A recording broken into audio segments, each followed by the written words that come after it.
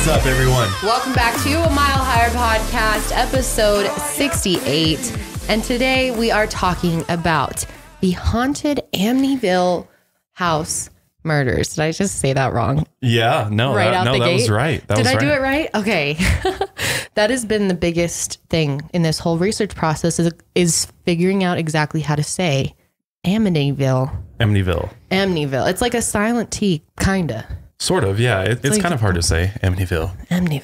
But I'm sure many of you have heard of this, probably from the movie. The Amityville horror. Yes, which I do not partake in such movies personally, but Josh has seen it, and I'm sure many of you have. And there has been a bunch of Amityville movies, uh, which is really interesting about this. But what a lot of people don't understand is it's not just about the haunting that may or may not have occurred at this house. Yes. Um, in Amityville, Which we New will York. ex- be exploring the paranormal side of things as well, but it's also it's a really true a crime true case. crime case. Absolutely. Yeah. This episode is going to be very much a true crime case. Yes. With some paranormal elements to it for sure. Yes. Um, super interesting stuff. But before we get into today's news topics, I wanted to quickly remind all of you if you're in the Austin area or in Texas for that matter, or if you just want to come out and you know meet us and see our first live show, we're going to be in Austin at the RTX convention, Yes. July 5th to the 7th. And I just got word that we will be doing sort of a meet and greet panel signing type of thing on Saturday, July 6th from 12 to 1:30, I believe. nice.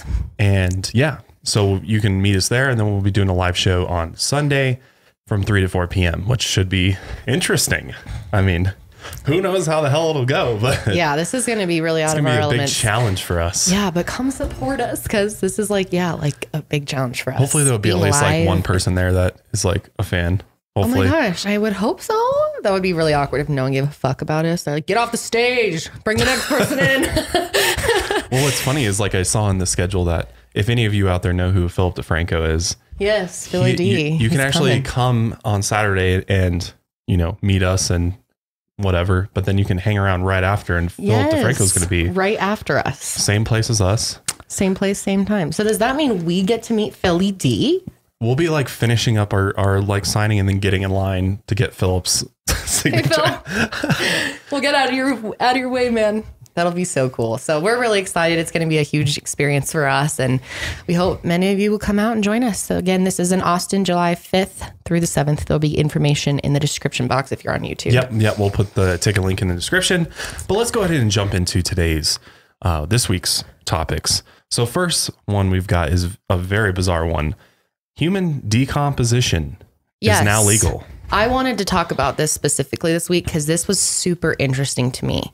Fascinating, actually. And I can't believe that we honestly haven't already been doing this for a long time. It seems like yeah, yeah. the kind of Seems kind of common sense, like we would have this already. and I'm s- I'm sure at many times in our history this is was the standard way of doing things. Probably. I don't know though. I think I think we've been burying people in you know caskets and coffins and as well as cremation for as long as time has but gone even on. like natives and stuff.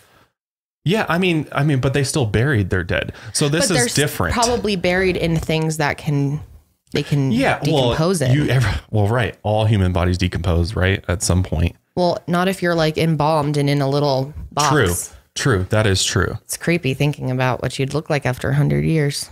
It is. Like, I just don't like that. I like this so much better. So, let's tell you guys what this is because some of you are probably like, wait, what? So where is it legal? What's going on with this? So Washington has become the first state in the United States to legalize the composting of human remains, which offers people a more eco-friendly alternative to traditional burial or cremation. That's what this is really about is like eco-friendly, right? Yes. This is the eco-friendly way to, you know, bury or, you know, say goodbye to a loved one or Yeah. rather than like cuz cremation requires energy, there's Right. you know, CO2 from the furnaces, things like right. that It releases. hmm right? You still produce some sort of pollution from that. And then It's not obviously completely green. putting people in boxes that just, or caskets or whatever else people are buried with into the ground, Yeah. yeah.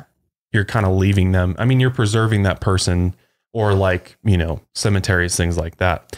Whereas what this is basically going to do is allow you to, you know, once you pass away, your ba- your body is placed in a module filled with organic matter. So like wood chips and straw. Yeah. Um, which help reduce the moisture content of the body to about 65%. And then they're going to use alfalfa as an activator, which provides nitrogen and protein to speed up the breakdown process. So they're going to use natural elements to speed up the decomposition Yes. process so that everything, including bones and teeth, turns into compost. Within like four weeks. That's right? what's crazy about this. The time's It's really quick. a 30, 30 days. days. Yeah, like four weeks. It's bro- so you're put into a steel container for 30 days. Kind of like if you if any of you out there compost, you know like composting bins. Yeah. It's like a human composting bin yeah. that you're put into. Well, Yeah. kind of makes sense. Yeah.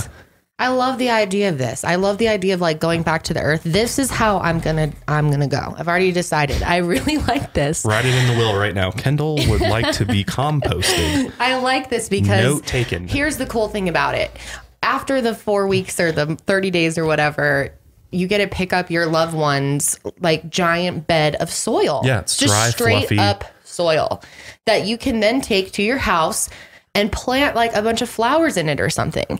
And I think that's so sweet that you can go out versus having to go to like a graveyard and just sit ab- sit like when you know that they're just in a box under the ground that's kind of weird to me i like that this is like they're part they literally become part of your earth and then the, the Yeah. flowers are they're growing through the flowers and i think it's such a beautiful thing and i think more states are going to follow washington on this and this is going to become a really Oh, popular yeah. thing Oh yeah. I bet you Colorado will be one of the next people. Just, just because it, it. seems like Washington like Cal probably California, Colorado. But wouldn't that be crazy if you're like over at someone's house and they're like, "Oh yeah, this is my grandma. Like it's a flower bed now, but Or it they was just my had grandma." a composting bin outside and their dead loved ones in it. That's kind of weird. Oh, that's I don't know weird. if you'll have the bin. I No, don't, you don't have the. It's a facility, Yes, yeah. you pick it up from the facility. The um, the soil thing. Yeah, It's the like actual big- company. You can choose. I was reading. You can choose to get like a small amount of the soil to just have like a pot of it, or you can get the entire thing, um, all of it. Yeah, which makes sense. But I kind of like that idea better because if you think about ashes, like what do you do with ashes? You it's, you, You can't really do anything with it other than just like sprinkle them out and there they go. Yeah. know? Which I mean, I understand why people Versus do this it. stays put, but it's also part of the ground and part of the earth, and it's like recycling ourselves. It's I like just love seeing that. I hate. I, I really don't like the idea of being cremated for some reason, but I even more don't like the idea of being buried in a casket. So this is the first option I've heard that I'm like, oh, I could get behind this. Like, I like this. it's I'm a gonna great die this way. in the middle of the road type bear, like Yes. end of life thing. Because if you think Yes, about it, it it's is. like, would I rather be six feet under or would I rather be scattered to the winds to who knows where Yeah. my ashes go? Plus the idea of my That's of body beautiful being too, though. That'd be my second choice. But the idea of my body being put into a furnace. Yeah, that's where like I, that's really. It, I Like- can't even think about it. It bothers me so much. Oh, sorry. I'm Yeah, live no. streaming. yeah, For no, those that of you who uh, don't know, I live stream on the Instagram on Mile Higher Podcast. On We live stream the intro topics on there. Sorry, but anyway, No, I like that idea. I'm with you. Let's do it together. I'd say we both will tell our kids. We'll be like, kids, when we when we go, you need to Mm-hmm. Compost us together. well, Keep- what if keep- we're five years apart? Or That's fine. Keep us alive, or not keep us alive. Keep us alive. No, put us in a cryo tank. Put us in the cryo No. cryonic. Freeze us. I'm gonna be like, put me in the ground right away, Compost and when your dad's ready, jo- have him Plant a join tree me. next to him. Yeah, Would you two want to be? beds, two beds of flowers next to each other. It would be cool though. That Yeah. like the succulent garden right here is made up of soil from my loved Yeah, one. because then you're absorbing like nutrients from the body into the plants, and it's. I think it's really It's beautiful. it's like kind of I don't know the it's circle life, of life. It's reborn. amazing. It's it's creating life from death. yeah, it's really cool. I think it's really cool. Very cool. so yeah, that was really interesting. And then the other thing a lot of you guys were tweeting us about Yes. um, that was pretty big, honestly. NASA. So they put out a new video on YouTube, and it's got 10 million plus views. It's called "We Are Going," and it's about what essentially what the hell has NASA been up to? For one, we haven't seen really much from them in a long time, and obviously we haven't been to the moon. We haven't really been doing anything space wise um, in a long time. So NASA put out this video, and we're gonna go in and play it just because it's couple minutes long, but it's really interesting and it gives you a good idea of of where things are are headed with NASA. 50 years ago, we pioneered a path to the moon. The trail we blazed cut through the fictions of science and showed us all what was possible. Very pretty out here. Today, our calling to explore is even greater. To go farther, we must be able to sustain missions of greater distance and duration. We must use the resources we find at our destinations. We must overcome radiation, isolation, gravity, and extreme environments like never before. These are the challenges we face to push the bounds of humanity. We're going to the moon to stay by 2024, and this is how. This all starts with the ability to get larger, heavier payloads off planet and beyond Earth's gravity. For this, we designed an entirely new rocket. the Space Launch System. SLS will be the most powerful rocket ever developed. And with components in production, And more in testing? This system is capable of being the catalyst for deep space missions we need a capsule. that can support humans from launch through deep space and return safely back to Earth. For this, we've built Orion. This is NASA's next generation human space capsule. using data from lunar orbiters that continue to reveal the moon's hazards and resources. We're currently developing an entirely new approach to landing and operating on the moon. Using our commercial partners to deliver science instruments and robotics to the surface, we are paving the way for human missions in 2024. Our charge is to go quickly and to stay, to press our collective efforts forward with a fervor that will see us return to the moon in a manner that is wholly different than 50 years ago. We want lunar landers that are reusable. that can land anywhere on the lunar surface. The simplest way to do so is to give them a platform in orbit around the moon from which to transition. An orbiting platform to host deep space experiments and be a waypoint for human capsules. We call this lunar outpost Gateway. The beauty of the Gateway is that it can be moved between orbits It will balance between the Earth and Moon's gravity. in a position that is ideal for launching even deeper space missions. In 2009, we learned that the moon contains millions of tons of water ice. This ice can be extracted and purified for water. It can be separated in oxygen for breathing or hydrogen for rocket fuel. The moon is quite uniquely suited to prepare us and propel us to Mars and beyond. This is what we're building. This is what we're training for. This we can replicate throughout the solar system. This is the next chapter of human space exploration. Humans are the most fragile element of this entire endeavor, and yet we go for humanity. We go to the moon and onto Mars to seek knowledge and understanding and to share it with all. We go knowing our efforts will create opportunities that cannot be foreseen. We go because we are destined to explore and see it with our own eyes. We turn towards the moon now, not as a conclusion, but as preparation, as a checkpoint toward all that lies beyond. Our greatest adventures remain ahead of us. We are going. We're going. We are going. We are going. We're going. Hell fucking yeah, dude. I am going. Are you? I'm Oh, signing man. up. Well, it's really interesting. There goes the whole they've never gone to the moon thing. I wonder if they're like, we've been getting a lot of shit about not going to the moon in a really long time. We better get our asses up there. Yeah, well, I think that could be part of it, but It is kind of funny. The main thing was honestly that kind of kickstarted this is Trump.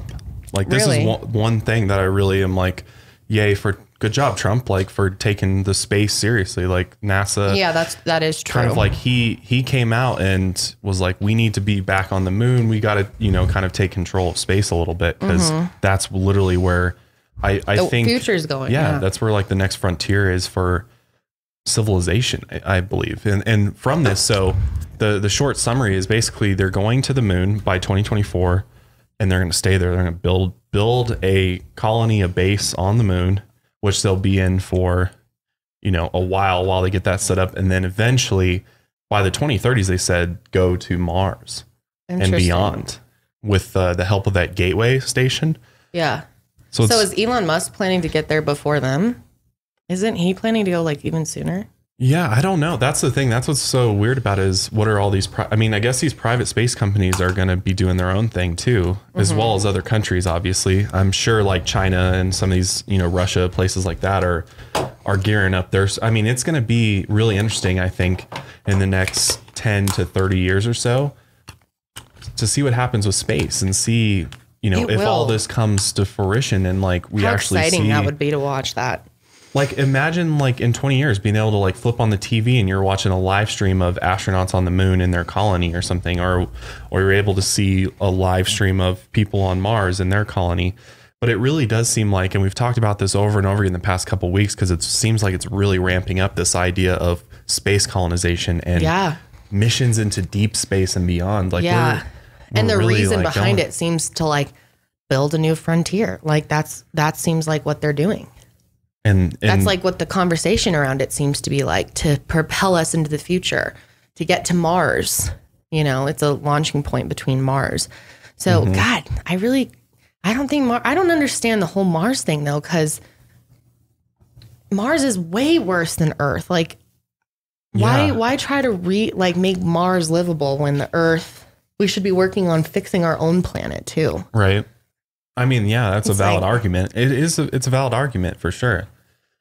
Because yeah, I mean, Mars, we're gonna have to like terraform and stuff. We're gonna have to artificially Yeah. colonize it because there's no no atmosphere. Yeah. It's barren wasteland there. hmm We might have to do the same thing they're doing on Mars, like extracting the water, separating oxygen, getting oxygen out. It's a whole like they could, might have to steam all the water out of the soil. It's like so over the top. Versus we could just fix our perfect fucking planet we have Mhm. and just make sure that stays working for right. years Or it's beyond repair, and they know that. But I feel like Mars is worse beyond repair. like chances are Mars was lived on at one point and there was some type of nuclear incident or war or something, major impact from space, something like that. And there's a reason why. I mean, they there's proof that there's like radiation and stuff in Mhm. Mars. Like so Mhm. why would we want to go live on Mars? I think it's. I think when they talk about Mars, it's it's more of like pushing humanity forward. It's like a big step for mankind to Yeah. to prove But it sounds that they to me can like they're like looking towards for somewhere to live. Yeah, Mhm. yeah. Well, not only I think that, the but tube that what's his face came up with, Jeff, Jeff Bezos. Bezos? Yeah, yeah. The live in the big tube thing. Mhm. That I feel like would be better than trying to rehab Mars.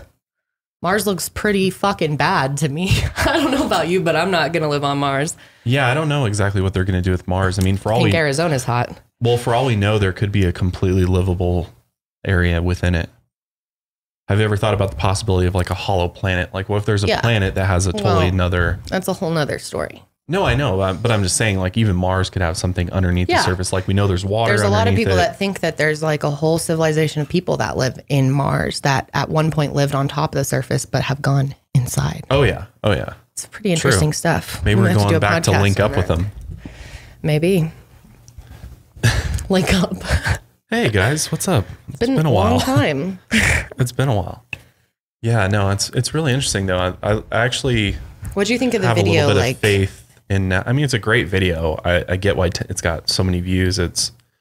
I mean, I think it- all of us have been wondering, like, what the hell has NASA been doing? I just feel like there's such a secrecy with NASA. Like, we just get Kind of bullshit answers story. on stuff. Yeah. Yeah. Mhm. I mean, we probably do. I mean, there's probably and that more video reasons. felt so scripted and fake and like well, yeah. I would have appreciated more of like a check out what we're doing, like behind the scenes look, just like wa- a dude walking around showing us. But it's like this whole that almost felt like a political campaign. Oh. I, I think it is, and I think it's a stunt to try to like increase their, you know, their good image, you know, or improve their image, Yeah. to the world. Because I think they have been getting shit on lately, and especially since conspiracies has kind of come back into you know popular Oh, totally. society, Uh-huh. a lot of people are starting to look at the NASA Yeah. conspiracies Say and what's up? Why haven't we gone to the moon since the like, dude, seventies? yeah, exactly. Seventy three, right? Why has it been so fucking long? Why has it been years and years and years? 73? Yeah, yeah, it's been a long time that we haven't done in shit, and Yeah.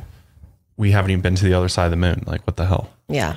So, Well, that'll be interesting to watch for sure. yeah, it definitely will be. So, good old NASA. But let's go ahead and get into the Amityville murders first. Yes. But before we do, I want to thank our sponsors for today.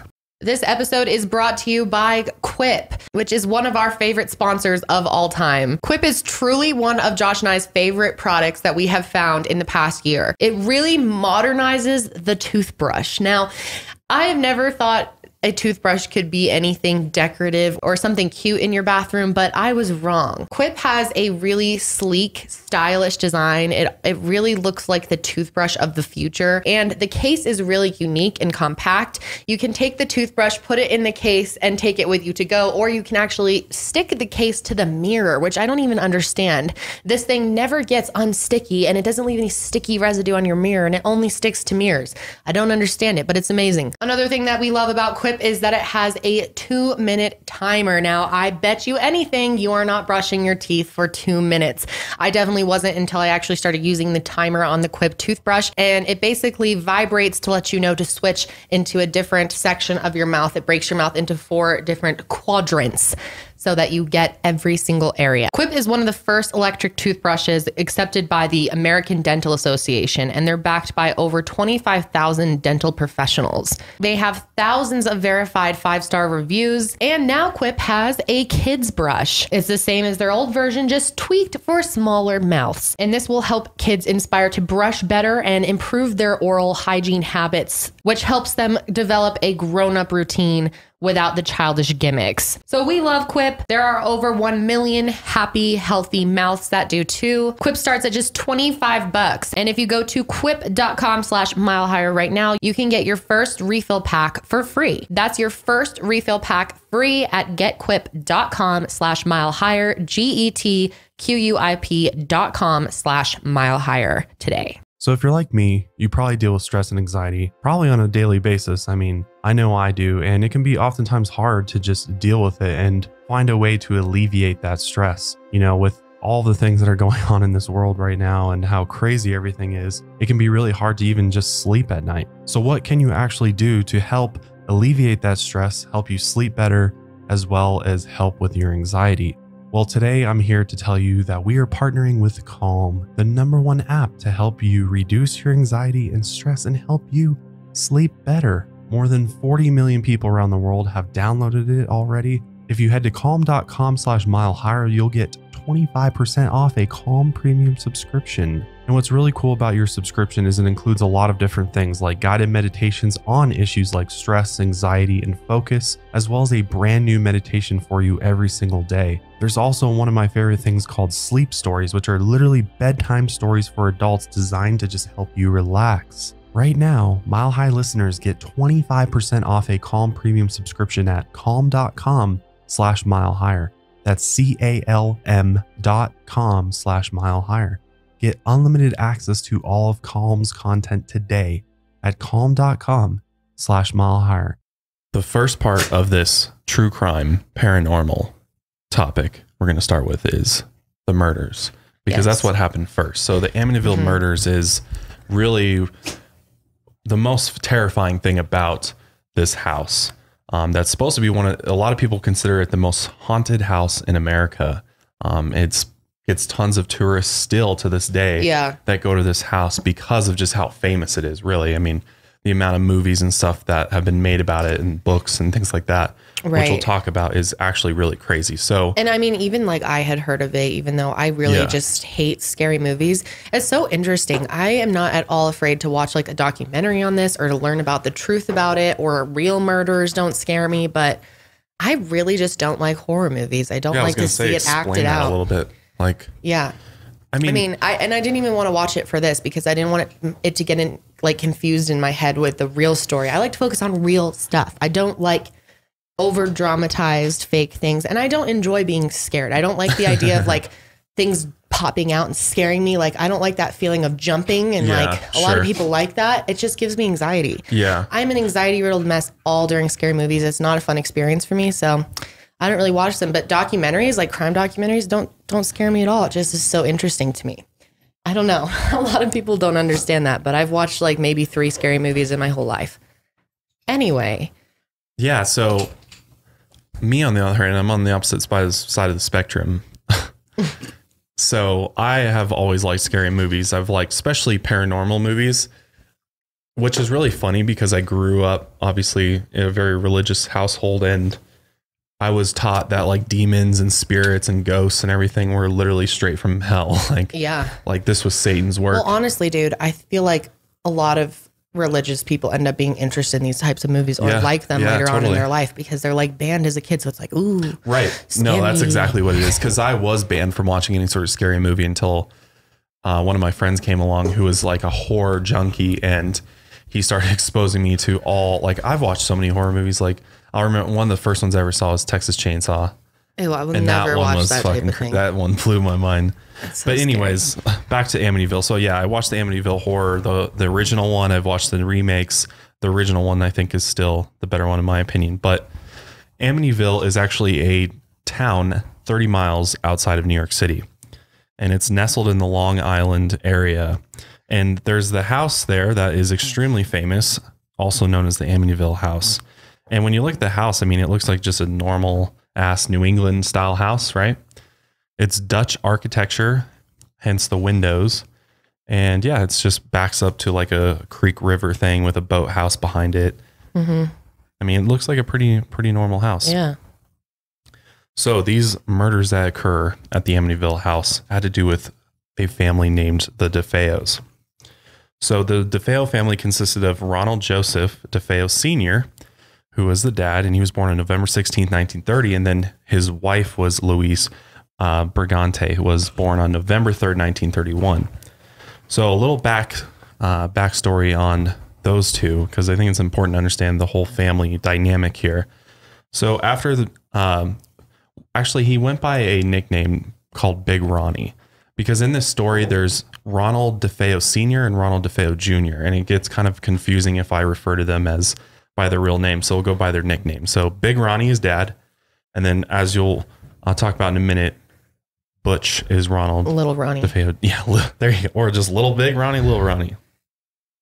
So Big Ronnie and Louise got married, and from the very beginning, Louise's parents always disapproved of uh, Big Ronnie.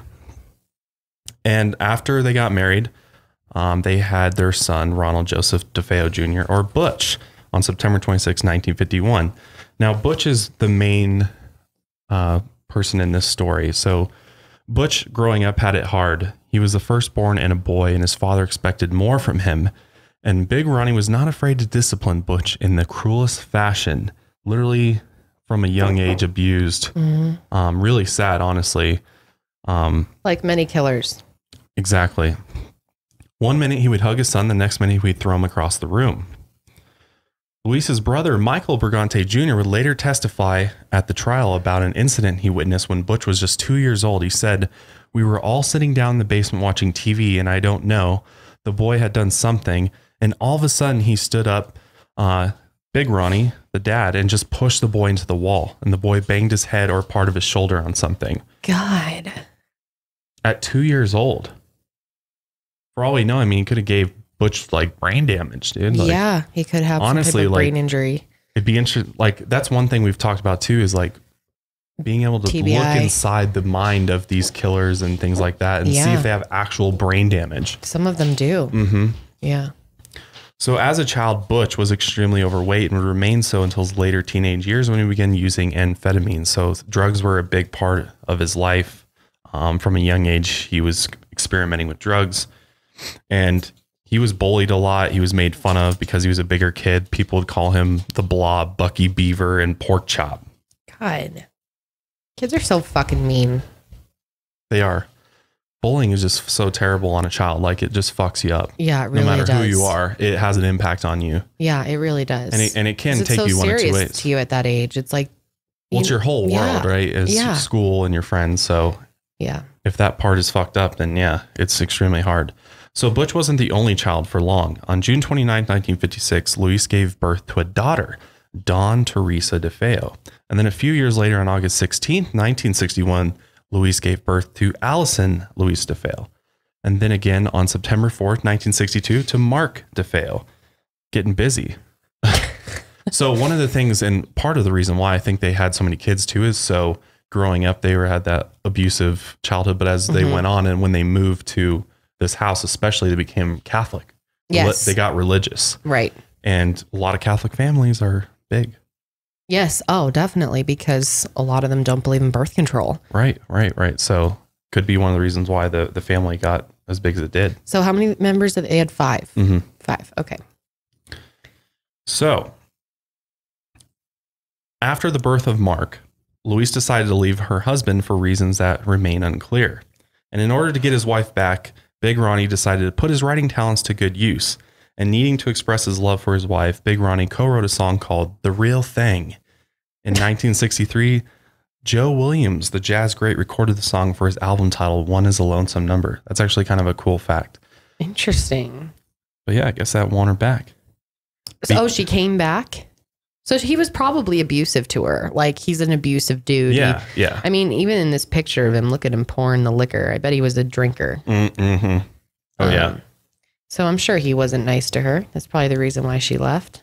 A lot of women will come Yeah. back to some s- sappy It's like kind of like shit like Jack that. from This. Is Us's childhood. yeah. You know, his dad's a drunk and stuff. hmm So then on October 24th, 1965, Big Ronnie was blessed with a third son, John Matthew DeFeo. And by this time, the family had moved from their Bro- Brooklyn apartment to the affluent Long Island South Shore community of Amityville. And for many, it was a mystery how Big Ronnie could afford such a lavish home on a car dealer's service manager's salary. Yeah. How did he do that? That's really interesting. And she didn't work at all. Well, I, what we find out is he was a part of like a large criminal syndicate. His car dealership was. So who know? I mean, and who knows what other like illegal shit was going on there? Yeah. But he obviously was making good money mm-hmm. somehow. And in the early 1970s, Big Ronnie decided he wanted a series of life-size portraits created to immortalize his family. So weird. Isn't that weird? That when So people do that. Yeah. Have you ever been to a house and somebody has just like a giant like picture of themselves on the wall? Not not of themselves, but I know people do it. Or I just like, saw um, who did I saw? I saw Trisha Paytas's house in one of Chris Klemens' videos, and she had pictures of herself all over the whole house. Some people are into that. Which I mean, whatever. If you want Whatever to do that, floats that's, your boat. cool. Yeah. I would feel really weird with. I would be like, really, I'd just want to hide them. I'd want to like throw blankets on it. Never see them again. be weird. Wouldn't it be weird to have a giant picture of yourself? Would just bother me every time I'd that. walk by it. I'd be like, ugh, I don't want to see my. Yeah, I don't want to see that. I'm so cringe. I already got to look at myself in the mirror, all right? I don't want to look at myself on my wall, too. What the hell? But one of the other reasons that um, Ronnie had some money is because of his father in law, actually. Right. Louise's mother. Mhm. Um, they had money as well. And they, he actually paid for these portraits for them Interesting. 50 grand. That's so Estimated to be at least 50 grand. 50 grand for the portraits? Yeah. For life size portraits, which they hung in huge golden frames on the staircase wall in between the first and second floors of their home. That is so strange to want to do that. To spend 50 fucking G's on family portraits. Right? That's so so were they painted? They must have been hand painted. For 50 grand. They yeah, better it's not a, have been. it's not like a little shitty like camera picture Yeah. like with film. No, it better you go. have been a Yeah, it was life size portrait. I'm assuming paintings. Yeah. Like, That's just so weird. That's like what they did in the way olden days. Like, why do you need to do that now? They must feel dumb that they spent, well, speaking of people paint on the walls, my grandpa has this an, a ridiculously insane picture of Napoleon on his wall. of Napoleon? Yeah, it's literally like wall painted? to ceiling, dude. It's huge. Ew, why does it's he like have Napoleon? He's such a shit person. know. Your What- grandpa's so yeah, weird. he's funny, man. Yeah, he would have Napoleon on the wall. fucking would. Right? Doesn't surprise I just thought that me, was funny. So let's go ahead and get into the day that this literal massacre goes down. It's it's just wild what happens here. So, in the early evening hours of November 13th, 1974, the patrons of Henry's Bar, a tavern located at the corner of Merrick Road and Ocean Avenue. Ocean Avenue. Oh, don't want to get copyright. Sorry, yellow card. Anybody else like that song, by the way? I love that song. Good song. Which that's what Amityville's off Ocean Avenue. hmm So at this tavern, they're sipping beers, cocktails. Everything is seemingly just a typical evening at this local bar, calm and uneventful, as they said. But by the night's end, this shit gets flipped upside down because of what happens next. At 6:30 p.m., Ronald DeFeo Jr., known by the locals as Butch, opened the door to the bar and yelled, You got to help me. I think my mother and father are shot. One of the patrons seated at the bar was Robert or Bobby, an out of work brick mason and Butch's best friend. Bobby raced to his friend who had fallen to his knees, crying hysterically. Butch again pleaded for help. Bobby, you got to help me. Somebody shot my mother and father. Are you sure they're not asleep? No, I saw them up there. Come on, let's go. So literally, Butch is like, he comes in, he's frantic. He's like, guys, we got to go. Gets his six friends to go with him. Uh, John, Joey, Al, William gets like the bar owner, and they all pile into Butch's blue Buick Electra, and they drive down to his house, which his house was literally only a block away. So he goes over there, gets his friends, drive a block away, and they're driving extremely fast. People are yelling at him to slow down, and eventually, a few seconds later, they arrive at 112 Ocean Avenue. And again, this residence is pretty big. It's a three story colonial home built in 1925. Damn. The property That is is old. Yeah, it's it's extremely old. And it's a big it's a really big property. But like I mentioned earlier, one of the most distinguishable parts of the house is the dramatic looking like uh, windows on the front, which kind of look like eyes. And actually, in the movie, they like there's always like flashes of light or lightning or like stuff going on inside the house through the the front windows because it looks like eyes are like kind of like blinking. But anyway, they pull up in their car, they hop out, they climb the porch, and his his friend Bobby's like yelling, "I'm like, be careful, Butch! Like, you don't know who's in there, right? Because if somebody's been shot, like, why would you come rushing Come- into the yeah. house and immediately start like running upstairs if you think somebody came in there and killed him, right? Yeah, you would be more cautious for sure. Mm-hmm. And he's not he's not doing that. He's like running right in there, and the house was ex, ex was sorry, the house was quiet, except for their dog Shaggy, who was barking, but he was tied up inside of the kitchen's back door. So the interior of the DeFeo home was just as impressive as the exterior. To the right of the marble covered foyer was the formal dining room with red velvet textured wallpaper lining the walls. And in the center of the room, over the Dutch style table seating six, hung a crystal chandelier.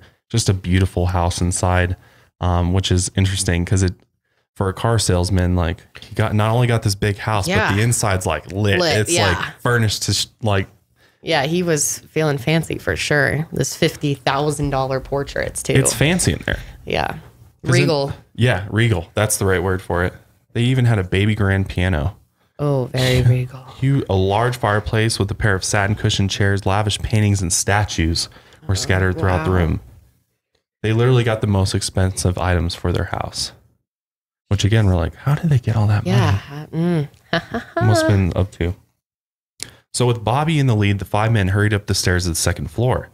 Bobby was a regular visitor to the DeFeo household and knew exactly where the master bedroom was located. As they reached the second floor, they were overwhelmed with the stench of death. Bobby stopped at the doorway to the master bedroom and hit the light switch. Before him lay DeFeo Sr.'s bare back was the first indication the couple was not, or a hole, I'm sorry, a hole in the center of his back was the first indication the couple was not sleeping. And there was obviously blood trickling out of the wound still. Um, so yeah, there's, there is photos of it. I'm not going to put it in there, but I'll link it for you guys. So you guys, if you want to go see what the crime scene photos look like, they're pretty, pretty, uh, yeah, graphic. But in contrast to Big Ronnie, Louise DeFeo's wounds were not clearly noticeable because her body was buried beneath an orange blanket as if she was protecting herself against the evening chill. Wow. In bed, Just sitting there having no idea or sleeping, probably sleeping. right. Seeing that Bobby was ready to pass out, the other men led him downstairs past the life size portraits of the family. John remained on the second floor and checked out the northeast bedroom, which was one of the boys' rooms. And there was toys and obviously all the normal stuff in their rooms. And there was also several statues and figurines that were, you know, you commonly find inside of a Catholic home. You know, Mm. a lot of times you'll see like, Like, Jesus yeah, or, little- you know, saints or Yep. Mary or, tr- you know, just different your things like that have a ton of that. crosses on the wall and Mhm. stuff like that. Yeah. And on opposite sides of this room lay the bodies of two young boys face down like their parents. In the bed on the left lay the body of John DeFeo, who was nine years old at the time. Only nine. It's crazy. Yeah. And when John looked at him, he couldn't pinpoint the bullet hole in the boy's back since his sweatshirt was completely soaked in blood. Damn. And in the other bed lay his brother, Mark DeFeo, who was 12 years old at the time. That's so young. Mm hmm. Brutal. One single bullet hole in the center of his back, just like his brother. Wow. So obviously, walking into that is like, holy shit, that's Yeah. terrifying. Mhm. And Really so, dark. Yeah, just I mean, I can't even imagine walking into a scene like that. Like, I know. It would feel really strange being around two young children's bodies like that. just I mean, to be in the presence of anybody that's passed is Yeah. always just bizarre. Especially murdered. But Like yeah, we've been in, you know, with someone who's passed, but we've never been around someone who's been murdered. now- like yeah, that's yeah. a whole different Oof, feeling, I man. feel like. You know, I mean not that I would know, but if any of you have ever been around someone who's been recently murdered, let us know. I'm sure some of you for your job or something have had to do it. It's Yeah. probably crazy feeling. I'm sure there's a cop or somebody out there that has definitely experienced that, and I'm sure it's very weird and and honestly, Any blood spatter analysis people out here? Any Dexters? well, we don't want a Dexter, but a blood spatter analysis, sure. That'd be interesting. I've always Yeah. wanted someone like Oh, that to come on the pod- person? Yes. Wouldn't that be interesting guest? Yeah, those are all hear? great guesses. Yeah, yeah. for sure. So back to the story. John is after just walking to the scene, runs back downstairs to rejoin the others, and is and is like, dude, we gotta we gotta call nine one one. Like Yeah. this is this is Horrible. really bad. So their friend Joe called nine one one, giving details to an emergency uh, dispatcher. And when the police arrived, Butch was immediately taken to the local police station for his own protection, actually, because he basically suggested to police officers at the scene that the killings had been carried out by a mob hitman Ah, and named so- Louis mm. Falini. hmm So they started thinking maybe it was like someone going after the whole family, so he had to be protected. Well, if you're a police officer and you roll into that scene, Yeah. they were all killed with precision and just like all the Mhm. same way, execution style. So Seemed kind of mobbish. right, totally. Plus, this family, like, look at their house. They kind of look like a mob family yeah, yeah, exactly. with True. these giant pictures. And I mean, it sounds from what you're saying. very sounds like- true. it must have been a very believable experience or Yeah. a scene, and just yeah.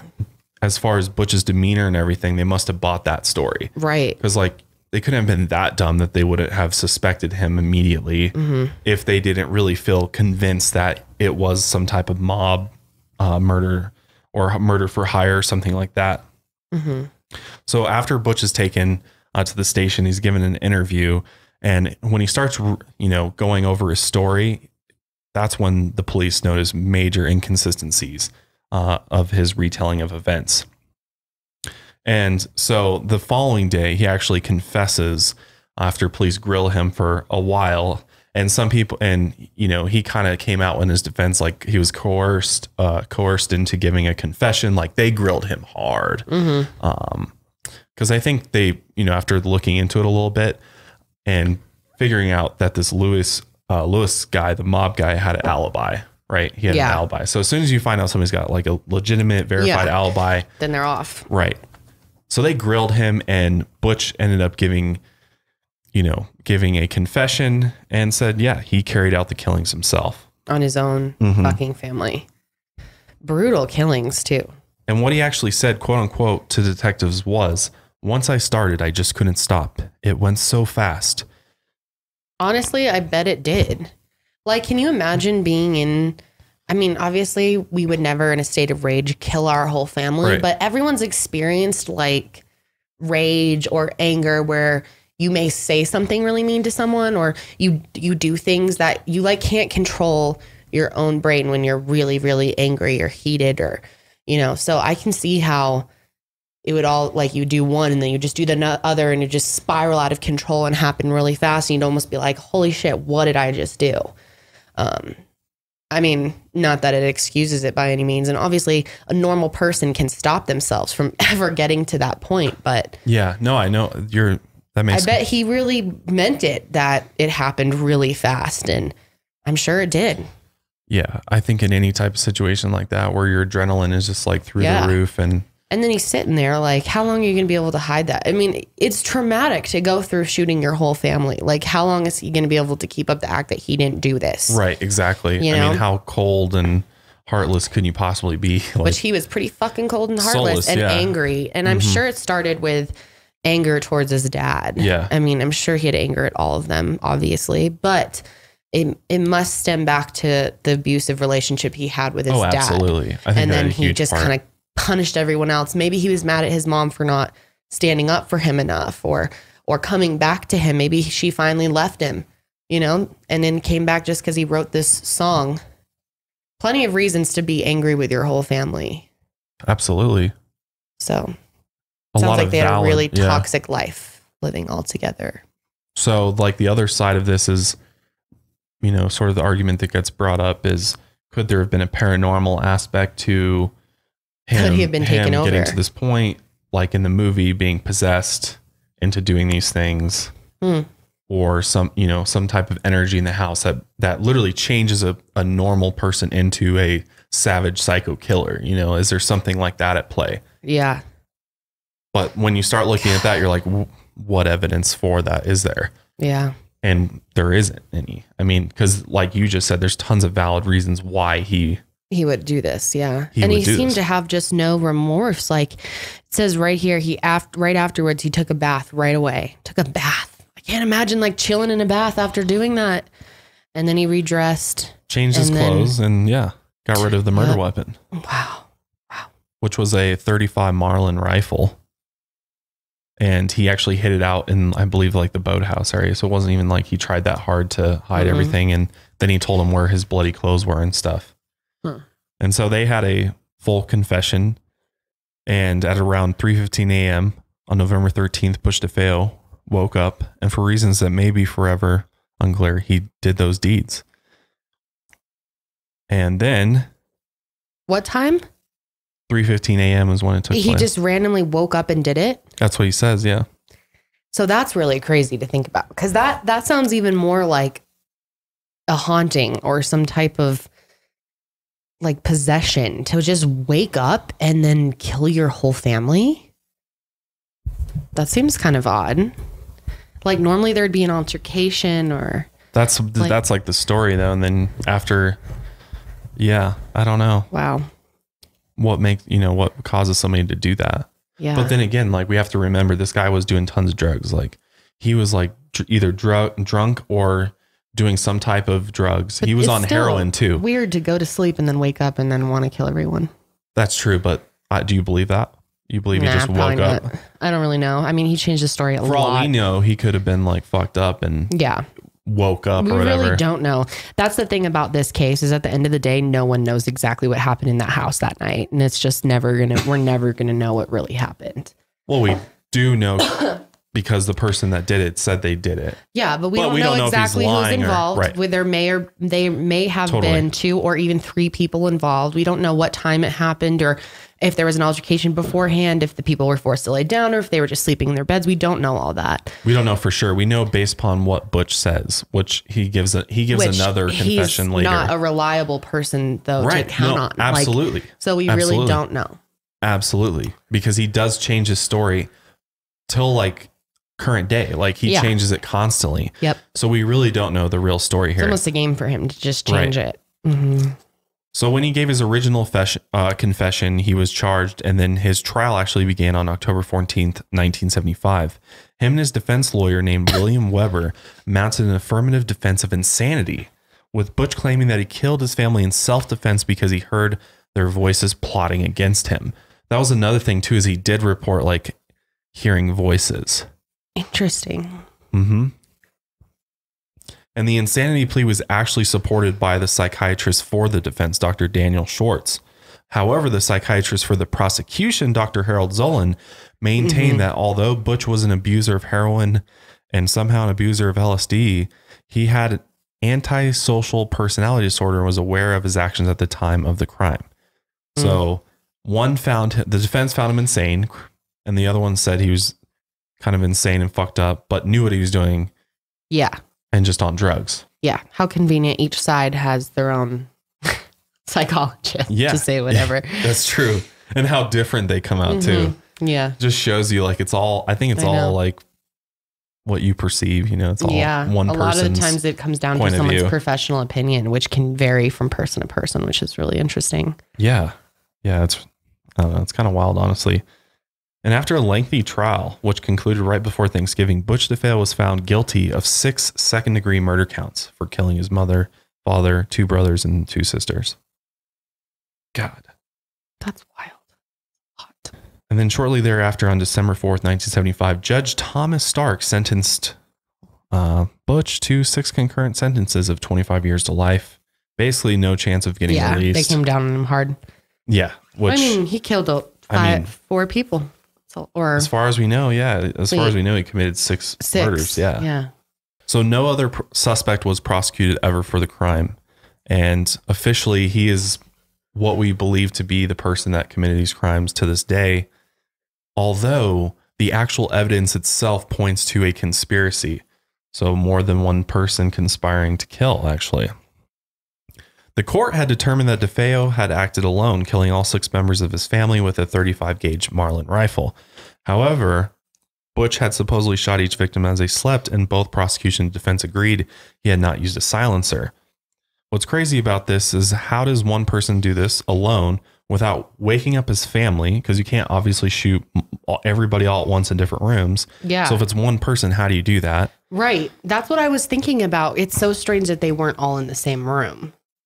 Yeah. Because how would you have you- kept them all? And this, well, I guess you'd probably kill the parents first because they would be the hardest ones to do. Unless it seems like the mom was like just sleeping. well, everybody was sleeping. Well, all of them because some They of them could have woken up if Right, they yeah, yeah. heard gunshots. So Yeah. maybe the mom was sleeping. Maybe the dad, you know, they said that the dad probably fought back because he had two Yeah. bullet holes. Yeah. So they think that maybe he tried to get up after the first one. Try or try to attack whoever's Or- attacking him. Yeah. do something like that. But maybe the kids were forced to like I could see it'd be easier with a kid to just say lay down and Yeah. shoot them like on spot. Yeah, it is true. Super sad, but Especially if it's your own fucking brother. yeah, and they're like terrified and their parents just Yeah. died like Well, they probably they don't even know do? that because they didn't leave the room. They don't know who's yeah, they don't they don't really even know. They could have just been told to lay down, don't even know. So terrible. Just why kill the kids? It's seriously such a nightmare. It really is. And so the defense experts actually conducted an experiment on this particular rifle that was used, the Marlin rifle, and found that it was so loud that it could be heard almost a mile away. That's fucking loud, dude. That is. I mean, that's a pretty big caliber, or not really big, but So then the others definitely heard it. it's a loud gun. Yeah. So, yeah. I mean, it's surprising that the neighbors didn't even hear it though and stuff. Like, yeah, that is surprising. I was how did say. the neighbor, and I mean, they're not super close. It's not like, you know, our neighborhoods these days where everybody's Yeah. on top of each other, Right. but they had like pretty big lots. I guess maybe, and if they'd sleep deeply, then yeah, maybe they didn't hear it. But I mean, at least the kids or whoever was shot, you know, later probably, heard the others Yeah. or woke up to hearing it or something, unless there was more than one person, right? Mm-hmm. Because I mean, that there's the only way that you do an execution style just like that, unless you you did it the way that you just explained, is if you know there's more than one person. And according to the autopsy and ballistic reports, each victim was shot as they were found face down in their beds. It seemed none of them had been awoken by the shots. Interesting. And none had put any kind of struggle or tried to hide or flee the scene. According to the autopsy. But then Ken Greguski, the former Amityville police chief, was one of the first law enforcement professionals at the scene. And to this day, he finds it extremely hard to believe that Butch could have committed the shootings without any members of his family waking up. The own police chief thinks that's crazy. Why someone wasn't able to get out of the house is beyond belief. And then later on, Herman Race, a former New York City supervising police detective, was hired by Michael Brigante Sr. to investigate the murders. Michael Brigante had testified at trial that he did not feel that his grandson acted alone in the commission of the crime. Since Brigante did not feel that his grandson had done all this of what he was accused of, and he wanted Race, a licensed investigator and friend, to either prove or disprove the case. So this guy, Herman Race, eventually uncovered evidence that showed that there were multiple gunmen and at least two guns used during the commission of the crime. During a private court hearing and at a trial, his findings were corroborated by the prosecutor and the medical examiner, who was astonished that one man sat accused of being the sole gunman. Because how do the hell do you do it, especially if you have multiple guns? So they literally proved that there was somebody else. They just have never figured out who else it could have been.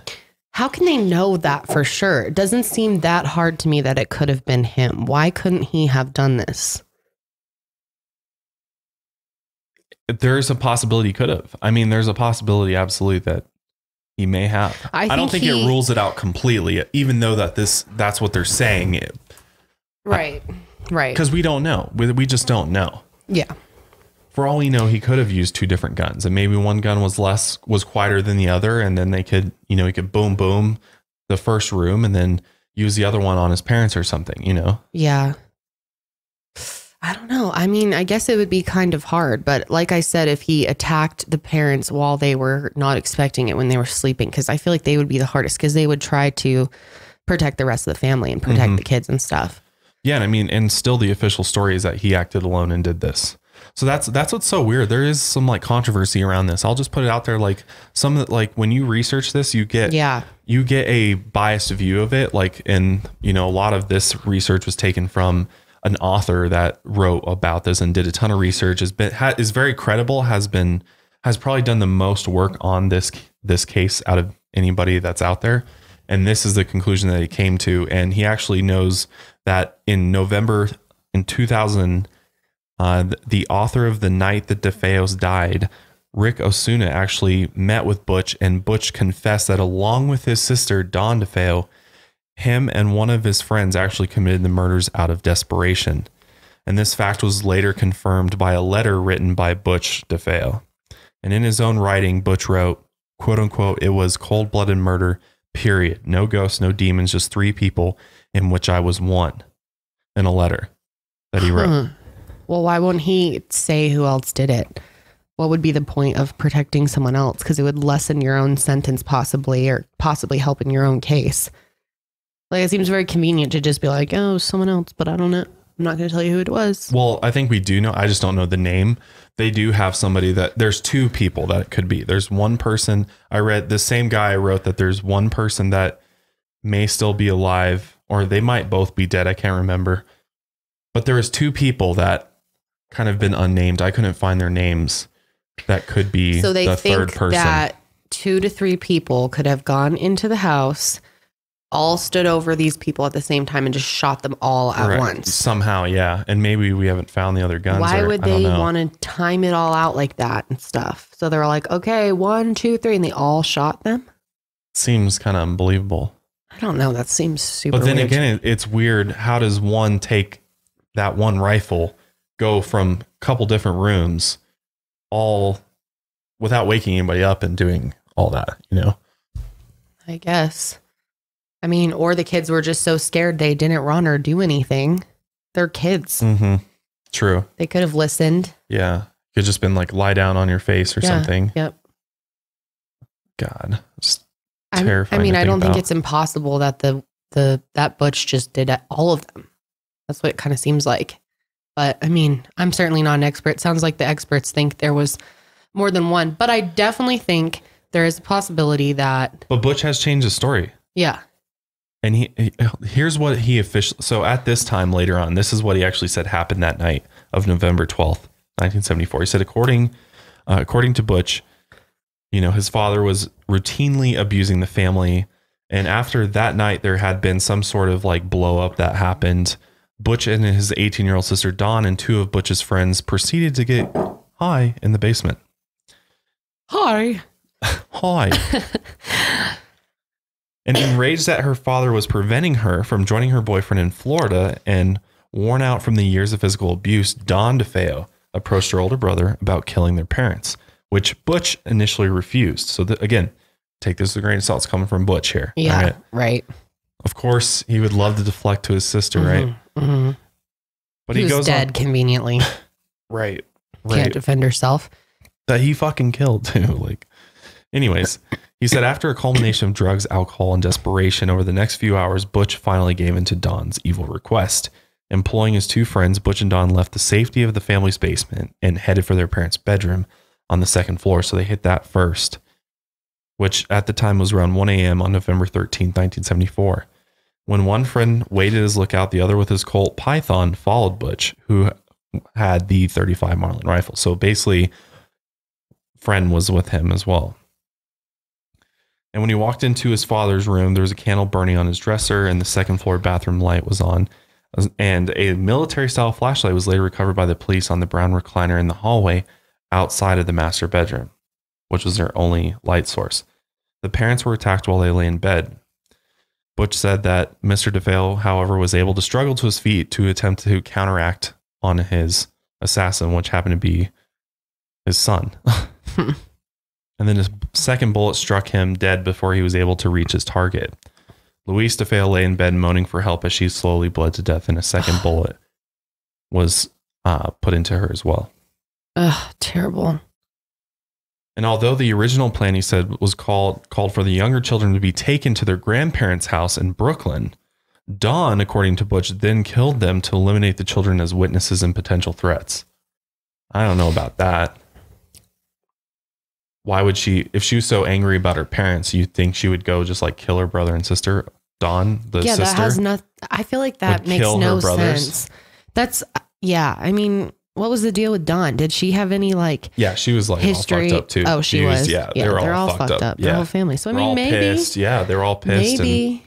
I mean, some families are that brutal. and theirs was really bad. Yeah, And drugs and everything else. Like it was like, Mhm. I'm sure it was a crazy. but how did she end up dead then? Well, he he gets to that. yeah, he's got it. He's got an answer for everything. Yeah. So according to Butch, while his sister is literally butchering their Siblings. family, yeah, Yeah. he claims he was not in the house at the time of the children's murders, but giving pursuit to one of his friends who had actually ran off away from the house. And because he was trying to get him to come back and assist with the cleanup, he said. But even at, you know, his trial, even claimed he never admitted shooting the children. Like he never has come clean that he shot them. He's like, I don't know. I didn't kill them.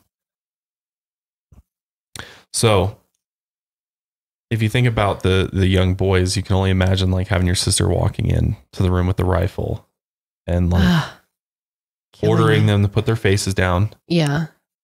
and then shooting them both in the back once. Just executing them. If she did it. if she did it right. Yeah, I don't know, man. It's hard because I mean she's not here to defend herself at all.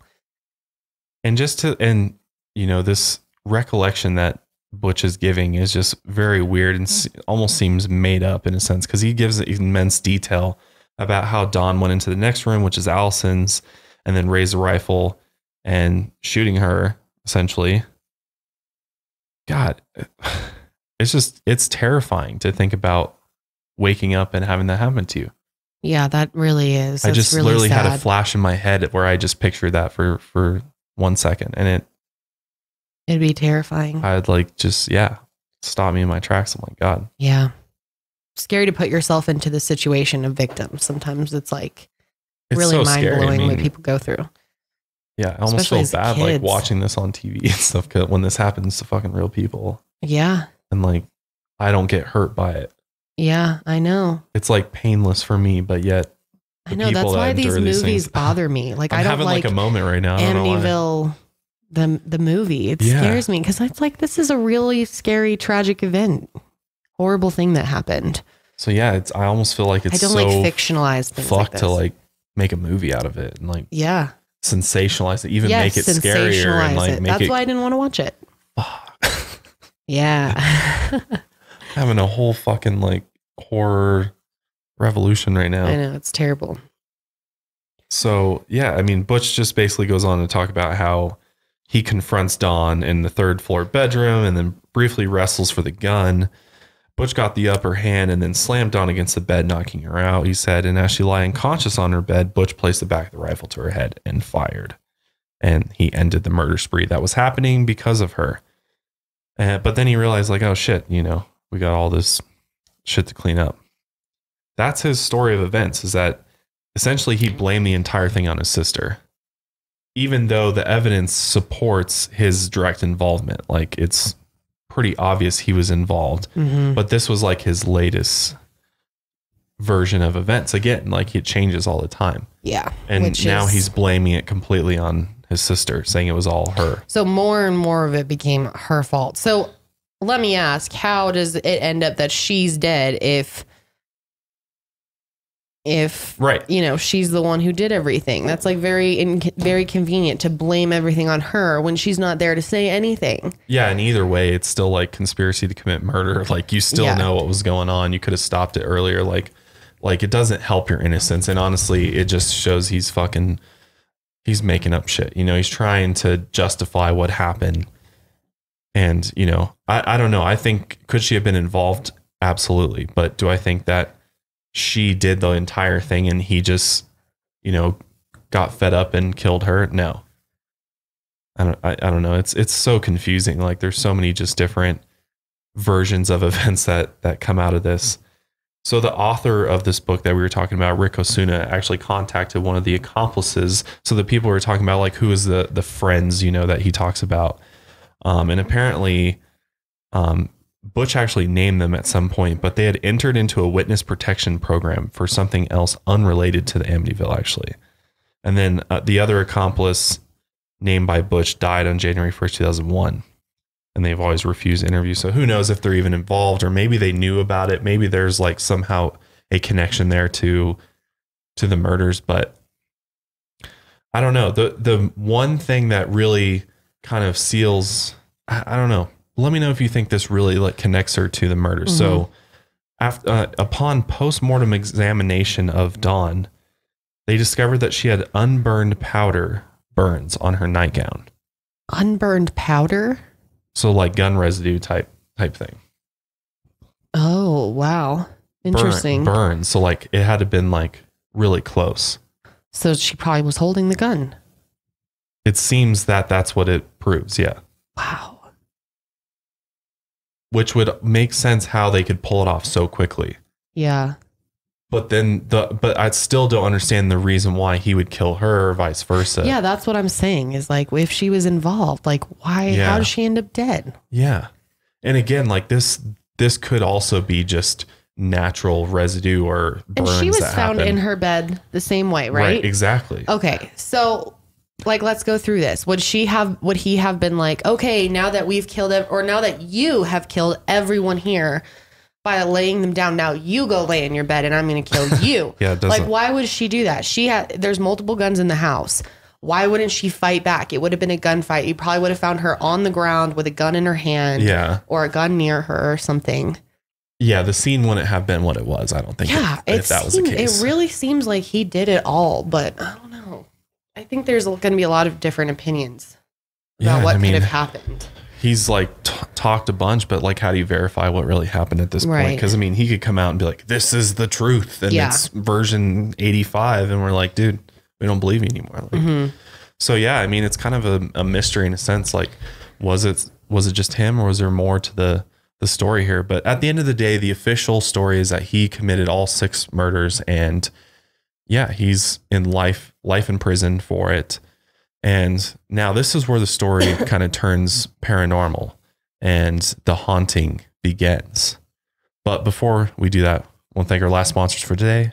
We'll be right back. As most of us have found out the hard way, including myself, getting into debt is easy, but getting out is hard, especially if your FICO score isn't great. Sky high interest rates can make it incredibly hard for you to break out of that revolving debt cycle. Thankfully, now there's Upstart.com, the revolutionary lending platform that offers smarter interest rates to help you pay off high interest credit card debt. Which I know for me personally, if I had known about Upstart a few years ago, when I was still digging myself out of credit card debt, I would have most definitely went and gotten an Upstart loan because of that smarter interest rate. Because if you don't have great credit, then you get slammed with very high interest rates, which may even put you into debt more than you already are. What's great about Upstart is they go beyond your traditional FICO score or credit score when assessing your actual credit worthiness. They actually reward you based on your education and job history in the form of a smarter interest rate, which is great. So they don't ding you on the credit part of the application. Upstart believes you're more than just a credit score. They make it fast, simple, and easy to check your rate in just a few minutes without affecting your credit score. The best part is that once the loan is approved, most people get their funds the very next business day, the next day, which is great. Over 200,000 people have used Upstart to pay off credit cards, student loans, fund their wedding, or to make a large purchase. Free yourself from the burden of high interest credit card debt by consolidating everything into one monthly payment with Upstart. See why Upstart is ranked number one in their category with over 300 businesses on Trustpilot and hurry to upstart.com slash mile higher to find out how low your Upstart rate is. Checking your rate only takes a few minutes and it won't affect your credit, which is the best part. That's upstart.com slash mile higher. So one thing that I truly love in life is subscription boxes. For some reason it's like it feels like Christmas because you're getting this surprise gift in the mail.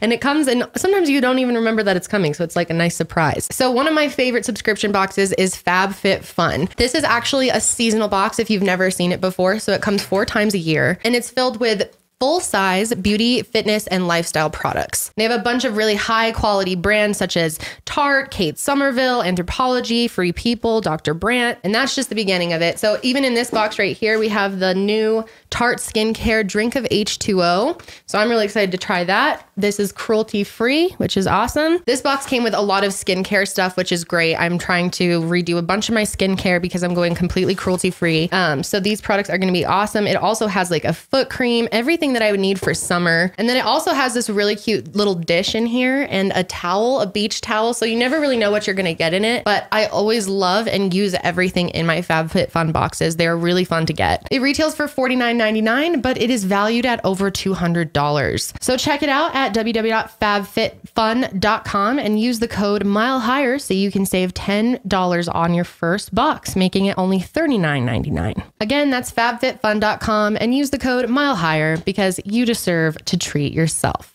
All right, so the haunting begins when the Lutz family purchases this house on December 18, 1975.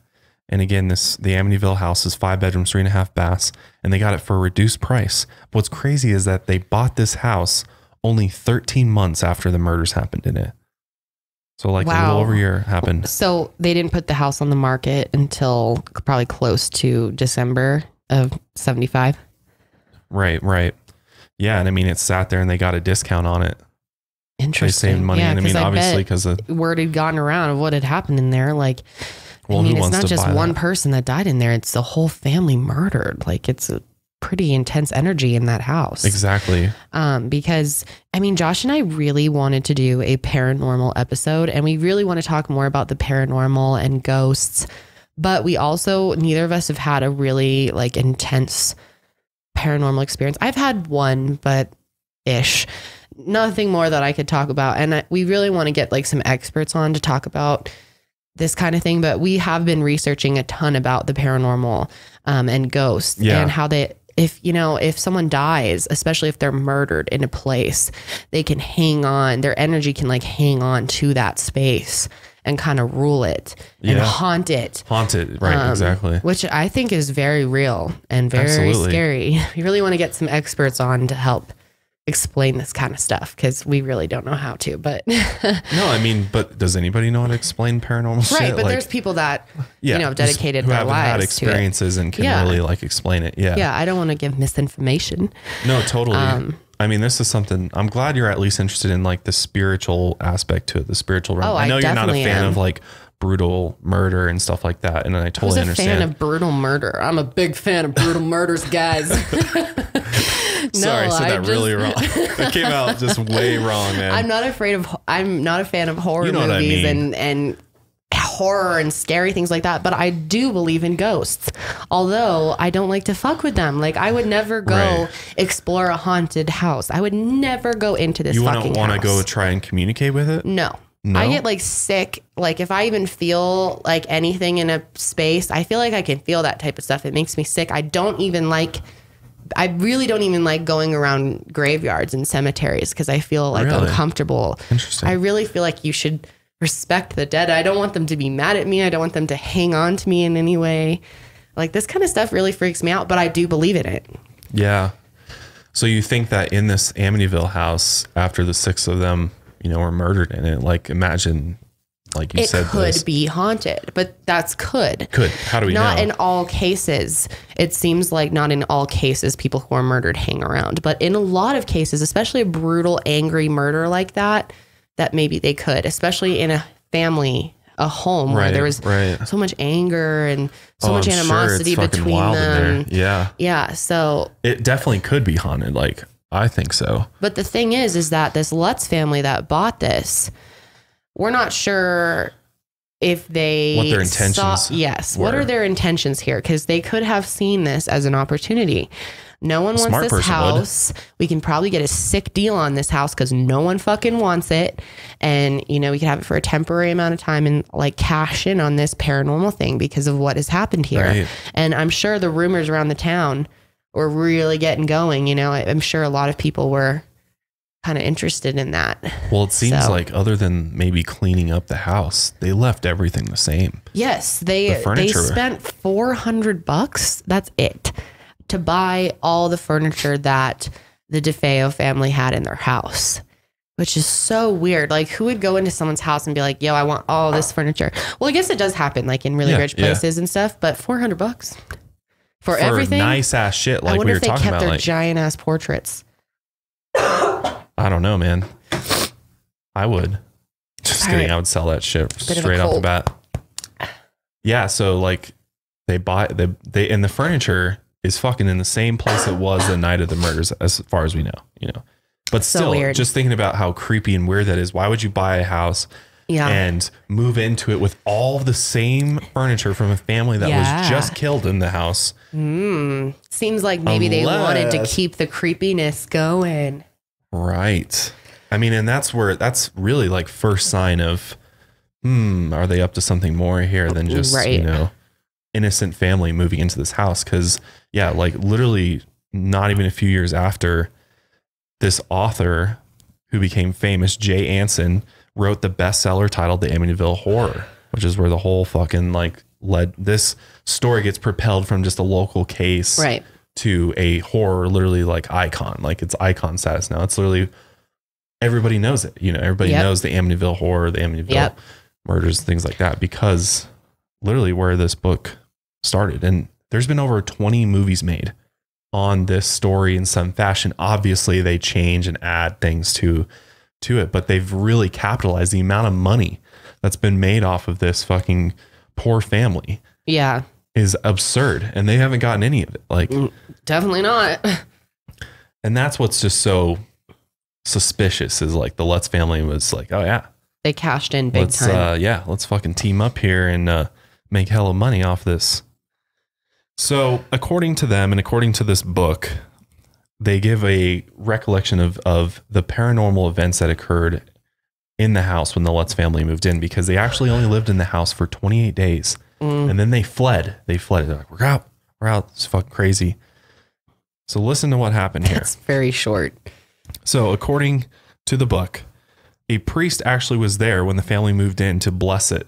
Okay, so the fact that they showed Boom. up day Yeah. one with the With the priest, they on. knew it was haunted. Yeah. Like they knew what they were getting into, and they'd be like, "Oh, it'd be really great for the story if we started it out with a nice Yeah. priest blessing." Well, it shows they know about paranormal right Oh, there. It gives away the yes, paranormal yes. because unless you unless you were like really religious, maybe. But even then, I'm like, I don't know any really religious people. Maybe back then.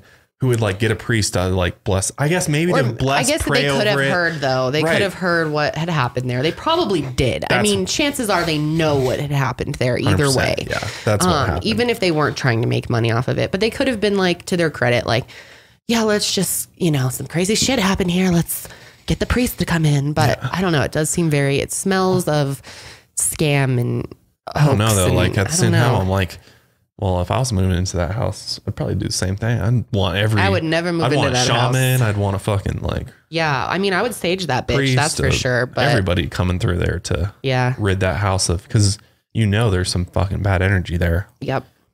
But then again, it does it does look suspicious, right? So they're the Lutz family is unloading their uh, moving van, and the priest goes into the house and starts doing his thing. And he goes upstairs to the second floor and enters the northeast bedroom, which is where Mark and John uh, were, where they stayed. And as he sprinkled holy water around the room and recited a prayer, he heard a loud male voice allegedly say, "Get out." Although the priests did not tell the family about the voice, which what? Why wouldn't you tell the family about the Yeah, voice? dude? what? What? Yeah, Let's just according to the story. Yeah. I better not tell them about that guy. Oh my god. The priest did warn them, however, to not use it as a bedroom. Don't let anybody sleep in there, supposedly. Oh. Yeah. And according to an article actually from that time, the Lutzes actually followed the priest's advice and turned the room into a sewing room. And from the very first night they moved in, the family claimed they felt strange sensations. In the book, he wrote that the family's personality drastically changed. That's like classic for any like horror story, Yeah. you know, like an Yeah. innocent family moves in and there's they all slowly get angrier and, you know, more violent. But then again, maybe they are. On one occasion in the book, the young couple beat their children with a strap and large wooden spoon. After moving to the house, the children apparently had become brats. Ooh. And then over the next few weeks, things got even worse. There was a stench of bile to the smell of cheap perfume. The fam be the fam. There we go. The fam became increasingly perplexed by the mysterious odors that would emanate from different locations of the house. Black stains appeared on the toilets and could not be lifted even with Ew. Clorox. Oh, the Ew, fuck. that's some nasty shit. I would be like, what the fuck is yeah, this? seriously, I'd move out because of that. Like, get me out of here. Then it gets better. Green slime ran down the walls. Green slime. That's some extremely paranormal that sounds shit. like that sounds fake. Honestly, Yeah, I haven't heard of that in any other cases. well, like, I'm like, why would a cases. fucking ghost like want to slime us? Like, yeah why would he be, or you know, like, why would a spirit or entity or demon, whatever the fuck do you want to call like it, Nickelodeon yeah, slime like, shit? Let's slime these guys. I'll scare them. slime their asses, or put some black stains on there. See how they like that? Like, it, it, it does make you wonder. Like, that all Yeah. sounds very like made up, right? Mm -hmm, Like, does. As crazy and scary as that is, like, I'm just like. Did they really do that shit? Like, why would they do that shit? Why would they fuck with my toilet and fuck with my wall? And why would they do that? You know? yeah. that to me just like i don't know i'm pretty skeptical about that and apparently hundreds of flies appeared in the sewing room one day even though it was the middle of the winter That's so gross. that's always like in any horror movie where there's tons of flies i'm like oh that'd be awful you know walking into a room with like hundreds and billions of flies flying around Yeah. you all diseased looking and then of course in the book and in the movies and everywhere else pretty much there's always the you know the crucifix that's on the wall that gets flipped down you know like the whatever evil spirit is in the house is like flipping all the crosses upside down which you know they always like try to tie it to to like a demonic type possession Right. like a sat- satanic thing you know it always Mhm. goes back to like this why do evil spirits automatically get associated with satan and lucifer and hell Yeah. why does it always go there first like what if these spirits are just like maybe they're angry or they're a negative energy but maybe it's not like like they're not doing it in direct response to it being like a religious thing you know Yeah, yeah, totally. they're just doing it because Just a on the natural wall negative, with it. positive of the the world. But I think that religious people believe that anything negative stems back to the devil, right? Yeah. Well, So- yeah. I mean, anybody that believes any sort of Judaic, uh, Christian, Catholic, any of those religions Yeah. So there you go. believe in a hell. And, you know, if you see a, that's why they don't like seeing crosses flipped upside down. You flip up, you flip a cross upside down in any Christian house, you're going to have a problem. Like, Yeah. if I did that in front of my mom, my mom would be like, Josh, are you okay? What is wrong? We need to go to church right now. because, yeah, I mean, instantly that's just like known. You don't do that. You don't flip the cross upside down or the crucifix.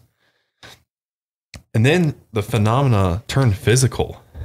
Kathy Lutz was victimized by unseen touches.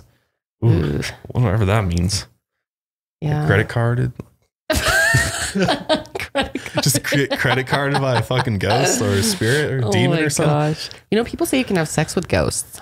That's a whole nother fucking thing. Oh my god. know, whole nother Yeah. Oh. I've I've heard a couple people that are like, yeah, I have intimate relations Again, with a spirit. that's something else I heard Trisha Paytas say in that Chris Klemens video. She Oh, says she has sex with ghosts. I'm very right, curious about it. I'm sure that's yeah. I'm curious. I've heard a lot of people say they have sex with ghosts. I'd love I've to heard hear more Whoopi about Goldberg it. talk about it. I don't know if she's like done it, but she's talked about it. I just don't understand how that makes sense, but I don't think there's like actual Anything's penetration possible. involved. I think it's just like Anything's possible. spiritual loving. I don't know. Ah, I feel it radiate. I don't know. It's strange, I but know, I would be super interested to talk to someone who's had ghost sex. That's a whole nother topic. Ooh. But yeah, that would be creepy to be touched by Be ghost. touched and then like sometimes forced to pass out. Ooh. Just get like knocked out. And then on the other hand, George Lutz would sit by the fire for hours because he suffered from constant chills. Because like that's one thing in a lot of paranormal cases that is a similarity is like cold spots, cold areas or really hot, like temperature changes. Yeah. is really interesting to me. Like there's a lot of, and that's the thing with this whole story and just horror in general is it takes unexplained phenomena and just dramatize or dramatizes, Dramatizes it it. Yeah. and makes it way crazier than it actually needs to top. be, even though it's already fucking crazy. If Right. you think about it, like Right. something is clearly happening, but we're not focusing on that. We're, you know, taking it up up a couple levels. So he had constant chills in the house, and he would wake up nightly at three fifteen a.m. Mm. randomly, and he believed that there was a connection between that was the time that supposedly all the family had died, and he's now waking up at that time. And as the months progressed, apparently the situation worsened for the family. The author reported that George woke one night to witness his wife transform into a 90 year old hag. Ooh. Oh my God, what the fuck? That seems so hard to believe. I just feel Yeah. like this is so fucking over the top. Like I've heard paranormal stories and they're just not like this theatrical. Like Nobody's getting transmorphed into a fucking hag. yeah. and I really do believe in hauntings. Like Yeah, I believe yeah, in a lot of yeah. haunted houses, but but I give it more just, dignity and respect than that. It seems like this family just totally cashed in on this whole haunted idea. And I mean, at the time, really sad. it was perfect timing because, like, this Yeah. was like when horror was really just starting to get going, and Mhm, mhm. and people ate that up. They're like, yum, yum, num, Freak. num, num. Give me that fucking horror tea, Yeah. man. Yeah. Because, yeah, they give a really dramatic story about what happened. And apparently, after she transformed into the hag, the next night she began levitating off the bed. Her husband had to grab her before she floated away. Floaty, floaty. That's just like, such a uh, uh. sh- load of shit. So now How come they getting- didn't get a documentary then, like a good documentary? It was in the 1970s, bruh. Still, like now, Yeah, why would no. they come to them now? Because a book is way easier to sell at the time, yeah, man. that's true. You don't have to answer questions on People camera. had fucking like shitty ass TVs, man. They didn't even have like color Mhm. stuff, really. You know? They did the seventies. Yeah, but I mean, it was shit. Yeah, but by the 80s, I feel like they could have done something, or like the 90s, or why don't they even go back to these people Yeah. now? Are they Yeah. still alive? I wonder if they're alive. Maybe not. The Lutzes? I don't know. Could be. Probably, honestly. Yeah. Surprised they haven't done But no, the book sold But it'd like fucking hotcakes, man. Yeah, the book would be easier. Easy, easy. Yep. And people really like it was a story. Yeah. The whole story. Because I mean, yeah, it's not like everybody reading it was like, oh, so they this made is fact. mad money off this. Oh, millions and millions of dollars. Yep. It seems like they they had it all planned before they even moved into the house. Yeah, and and here's where the story really just gets broken wide open because according to the story, the family got so scared, realizing they needed help, contacted the same priest that had originally come to the house to perform another blessing. And according to this book, the priest had been feeling after effects from the first blessing, of course. And basically whatever was haunting their house was also haunting the priest. Yeah. Now, this was literally just completely false because the actual priest was contacted and the guy said that he never even set foot in the house. They had a phone call. What? Okay, so this this is definitely bullshit. So Butch's lawyer named William Weber did a radio interview with the priest Mhm. and he said that. So that right there just basically like I mean Yeah. the very beginning is a lie. Like so can you even trust this at all? Mm-mm. Mm-mm. I don't think you can. I mean, it's uh, and it's so like out there. It's like, come on, like really, Yeah, that really levitating is. out the bed. Like Yeah. that's scary and all. I get it. It makes for a good fucking horror movie. I'll give you that. Whenever they do that shit, Mhm. like when they start flying off or covers get ri- you know ripped off, and I mean whatever that might happen, but like levitating bodies, like that's crazy. Yeah, that really is. Could it really happen? It could. Fuck, man. I mean, it Happened could me. happen. Something happened to me. No, man. dude, you don't want that. Trust me. I listened to like YouTube videos of people who have been who've gone through like hauntings or have been haunted by something or have felt like a something's attached Yeah, to them, and it's fucking terrifying. Like none, you do not want to have an experience like this. Trust me. Well, I It's need to talk to some people because I want to have this experience because I want to confirm. You want to My- get thrown around in your bed by a demon?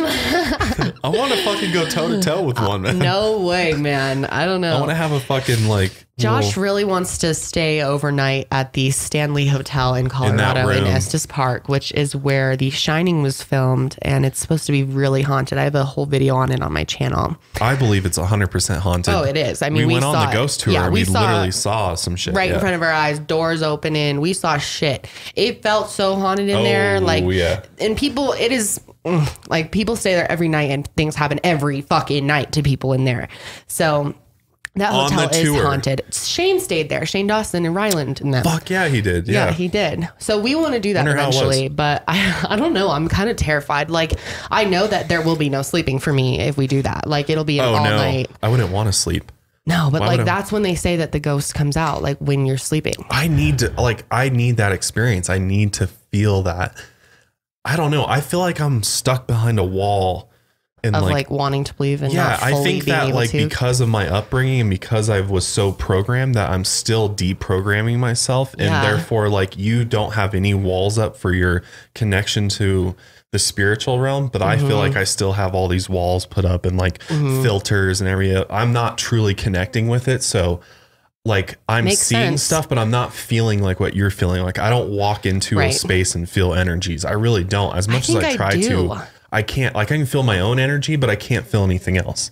I had even okay, so tonight Josh and I were even um we were looking at like we were at this house. We were just looking just at a this random area. house for sale and we were like Yeah. yeah Yeah. And um I just was standing on the property and I started feeling like super sick and weird. I want to go into that house because Yeah. it is for sale. I want to like Yeah, book wonder a what- what- thing and go.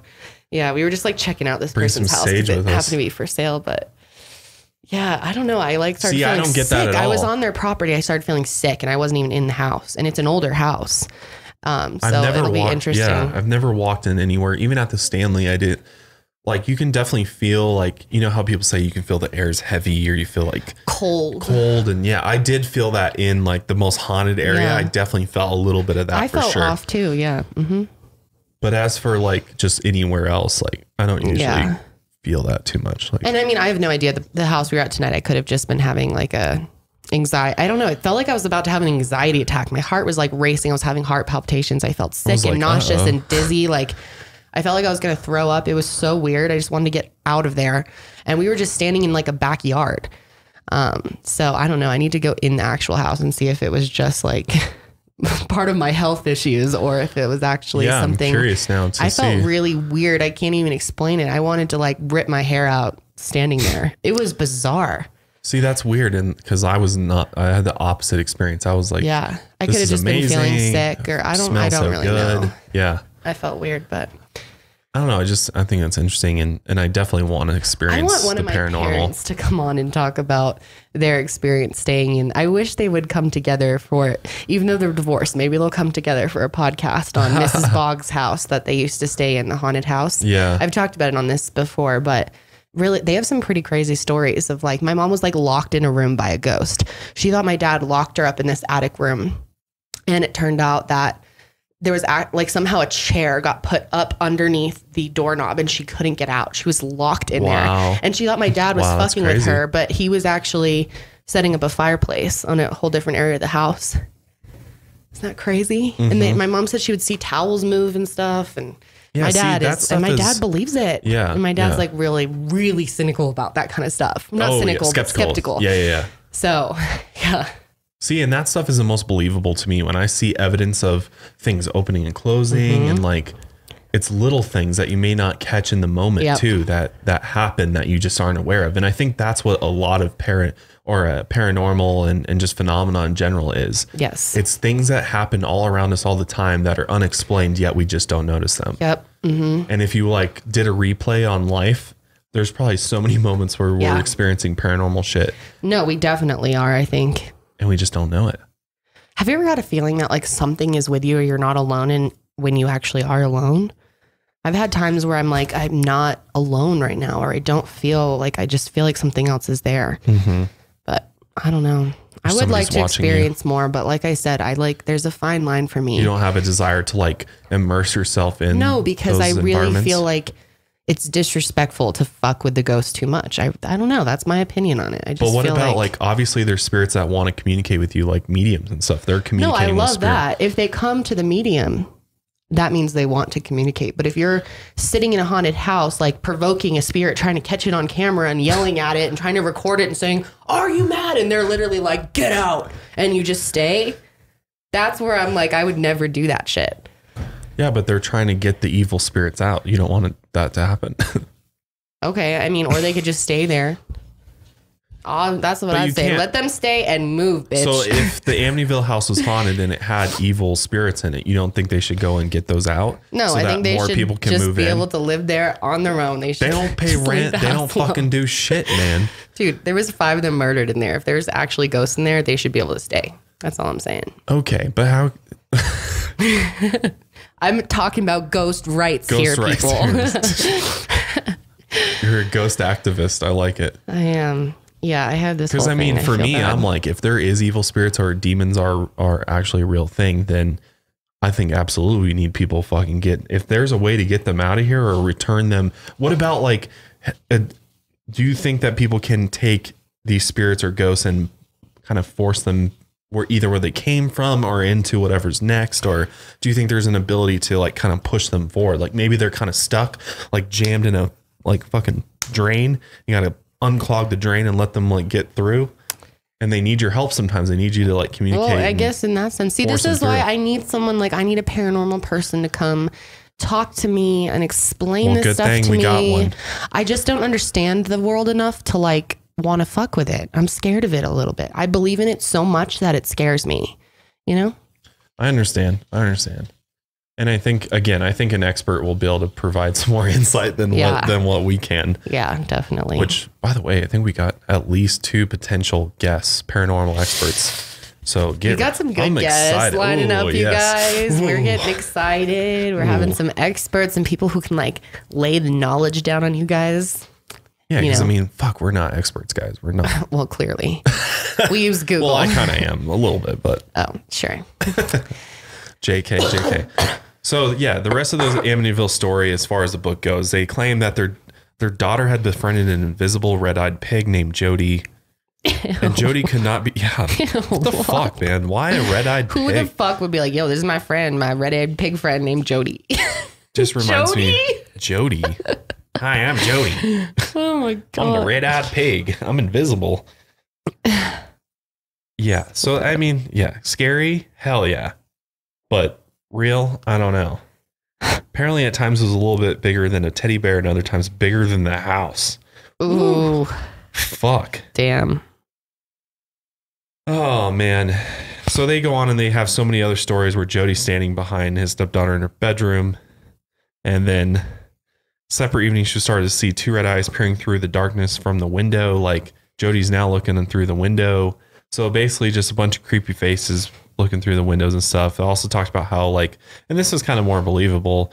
There was, you know, forces, unexplained forces, which caused significant property damage to the house, such as the front door being ripped off its hinges, windows being smashed, banisters being torn. I mean, again, paranormal or just normal weather could be either, I think. Yeah. But of course, the meteorological stations are like, oh, there's no no weather. Could have been that. So it's obviously some paranormal forces that were ripping the house to shreds. Jeez. But I mean, it's like this if the all the shit is happening, this is the most fucking crazy paranormal. this is like hell. This is like the hell, the real hell house, right? Yeah, seriously If all this is happening, there's a red-eyed pig running around like Oh, that's scaring so you. scary. Your house is getting ripped apart. Your mom's levitating off the bed. Like oh Jesus Christ, man. Even the dog's getting choked. It's just like it's brutal. Yeah, I mean, all these events are are crazy, and I don't know. Uh, here's one more. The wild one of the wilder claims is that George woke up one night to the sound of a marching band in his living room. what? There's a haunted. There's a ghost pretending to be a marching band. But I don't understand. Like, if it was the ghosts from the house, like it should be the family that's haunting them. Like, why would all these random ghosts be in this the house? Great fucking point. You know, like because Why? we've talked about, we have looked into Yes. hauntings where there are creepy other things that aren't people who have died there, but they were brought in, summoned by people in the past, Mhm. according to people in history. So, yeah, what the hell? So the explanation is for in this case could be complete bullshit. but but I'll give it to you. Apparently George Lutz dabbled in like black magic, like occult. Ag- And I hate saying Oh. occult because like I'm learning more about the occult, which is r- really fascinating to me. It's it can be kind of dark, but it is Yeah. very interesting because a lot of people are confused. The occult is like any is really you know like witchcraft black magic Mhm. ritualistic stuff doesn't necessarily mean like s- satan or lucifer or anything or anything that have to do with hell or demons but it could be like some type of evil entities being summoned via black magic and things like that Yes. um so george was known to dabble in that is there any evidence of him doing any sort of ritualistic practices or anything like that in the house Mm. i don't think so Yeah. um, so, but that's people's reason for why this could have happened and why, you know, maybe he summoned something and then maybe it attached itself to them. And when they left the house, it went with them. And yeah, because they, I think they did say shit started happening after they left too. So it maybe they did have some crazy shit happening in there because he summoned something. Well, like, what the fuck are you doing, dude? You move into this, like, it's so clear, especially when you hear he ba- he dabbled in the occult. Then he definitely moved in this house because he thought it was haunted and he could, like, stir some shit up. I don't know. It's like It's someone like that, I am just less likely to believe their story. And the fact that they were literally only in it for 28 days Yeah. is kind of Yes. like, really, guys? You just bought it and then you're out in 28 days? Yeah, it's really They weird. apparently moved to their mother's home, Kathy's mother's home in Babylon, Long Hmm. Island. So that was their claims. That was the book. Again, we don't know about whether that story is true or not, but what we do know is that famous, well, world renowned paranormal investigators, Ed and Lorraine Warren, which Lorraine actually just recently died this year. Oh. Um, these guys are legends. in the Yeah, in the paranormal world. I mean, they're really the four. You know, we're at the forefront of this field, and they actually went to this house. They went to the Amityville house in 1976 to con- to conduct a séance in the house. And when they were doing this, they also, or actually, they also brought along uh, a two doctors from the American Society for uh, Psychical Research, as well as the senior research associate from the Psychical Research Foundation. So not only did he bring doctors, but they they brought everybody to the séance. Mhm. Which Lorraine Warren was a clairvoyant, so she Interesting. yeah. So she goes into these places and is able to conduct a séance or, you know, commune with the dead, I believe is the what's happening there. And this is interesting. So the encounter was so awful and was so sinister that she felt that there was absolutely nothing she could do to help or eject uh, the spirit from the house. Apparently, they encountered Butch's spirit during the séance. Hmm. So I don't know. I again, I don't. I'm not an expert on seances. I don't know exactly how that would work, but according to this article, essentially, they said that when she was doing the seance, she encountered Butch's spirit during it, and that his spirit was so awful and so sinister, like his spirit was somehow part of the house. How? Isn't he in jail? Yeah, What the fuck? yeah. I don't know. I- He's I, don't not know. That could be wrong. Yeah, I don't know. Don't take my word on that. I don't. I don't know for sure. That's really strange. because I couldn't I couldn't like cross reference this. So Yeah, there's I'm so wrong much that, I don't know. BS when it comes to this case. It seems like there's just so much random stuff out there. But other than, and again, this is clairvoyance connecting with the spirit too. But as far as supernatural events that happened during these seances that were held that night, um, basically there wasn't that much that happened. I mean, there was a what they say, there was moans and groans, black shadow, and then there's this picture that they took that supposedly maybe shows a demonic boy photograph, is what it's called. Hmm. But then again, I mean, I don't know for sure if that was taken on that night. That's what they said.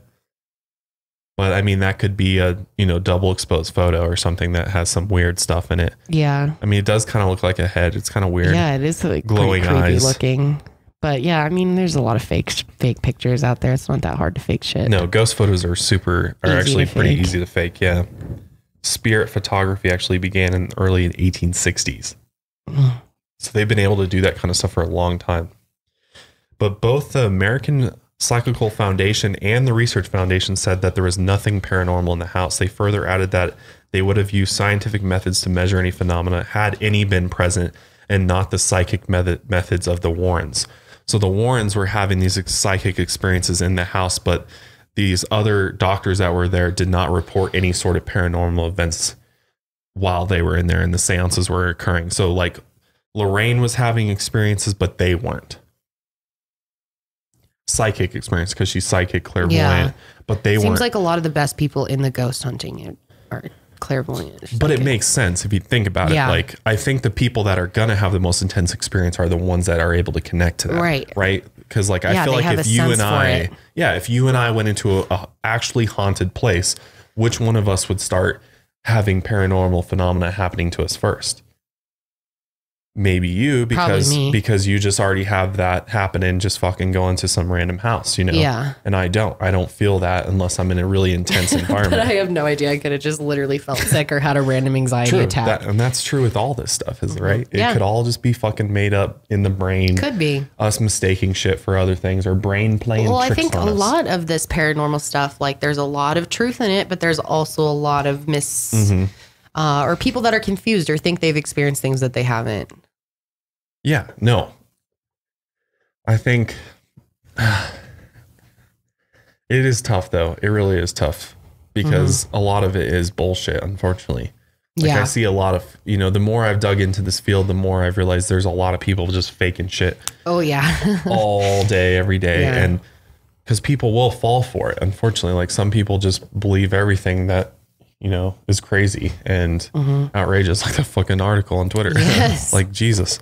Yeah. Oh my God. People had been sending me this article. I don't know if any of you guys have seen this, but it was like this guy named Jerry Richards who had apparently killed 700 people, who had 700 bodies on his property in Naples, Florida. And I was and people are sending it to me like, do a podcast on this.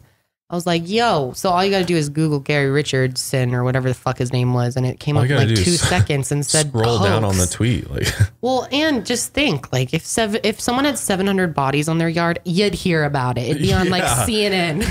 it'd be everywhere. yeah, that wouldn't just like fly under the radar. Oh my god, that'd be ins- that'd be like Yeah. insanity, dude. Yeah, it really would. That's like that'd be worse than like digging up H. H. Holmes' old spot. Like, oh yeah, yeah, no, that'd be insane. So, again, like people will believe the most ridiculous things, unfortunately. And Yeah. for me, I always look at this unexplained phenomena stuff. Like, I believe I believe a lot of it is real, even though I have never experienced it or seen it firsthand, Mhm. based upon other people's experiences. Right? Because Yeah. do I know for sure if I think it's 100% real? No, I don't know because I've never experienced it Yeah, myself. how are you supposed to know? Yeah. and like, if there's a way to experience the paranormal to see if it's really real for you or not, then like, why not do that? Just so Yeah. that you can see. Yeah. Because I feel like after you have a real paranormal experience, you're going to figure out like, do I want to have anything to do with this or not? Like, yeah, you yeah, you'll either be intrigued or you want to stay the fuck like, away. Yeah, Yeah. like, like, get me away from this. Yep. So, so yeah, it really seems pretty obvious that the the Lutzes most likely fabricate fab, fabricated these stories Yeah. In order Just to the sell. kind of people they were. Yeah, in order to sell the book, The Amityville Horror, which sold more than three million copies And then it was turned into a major motion picture, which grossed more than $80 million.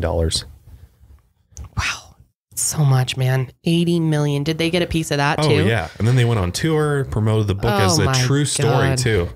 Wow. And that's another thing that I've learned kind of from researching this too is like a lot of these movies that are like based on a true story or based on true events, you got to really look at it deep because how much of it was really based on true events. Like they might take like just a general premise and then And run then- with yeah. it and blow it up and make it crazier. Mhm. Like some of the scariest movies I've ever seen, like The Conjuring or Sinister, like I'm like, hmm. Yeah.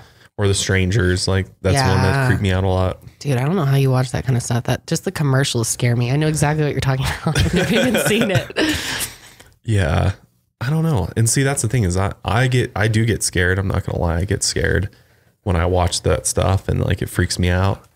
Sometimes afterwards I'll be like, don't want to be alone. I, I'm paranoid that somebody, I Yeah, hear just noises like, why do and that stuff. to yourself? I don't get it. Yeah, I don't know. I, I I'd think rather learn about some real shit that could actually happen to me. I don't know. Honestly, you'd think the real stuff would scare me more because that's obviously more Yeah. likely to have to happen. right. Like a I don't know why. I seriously don't know why.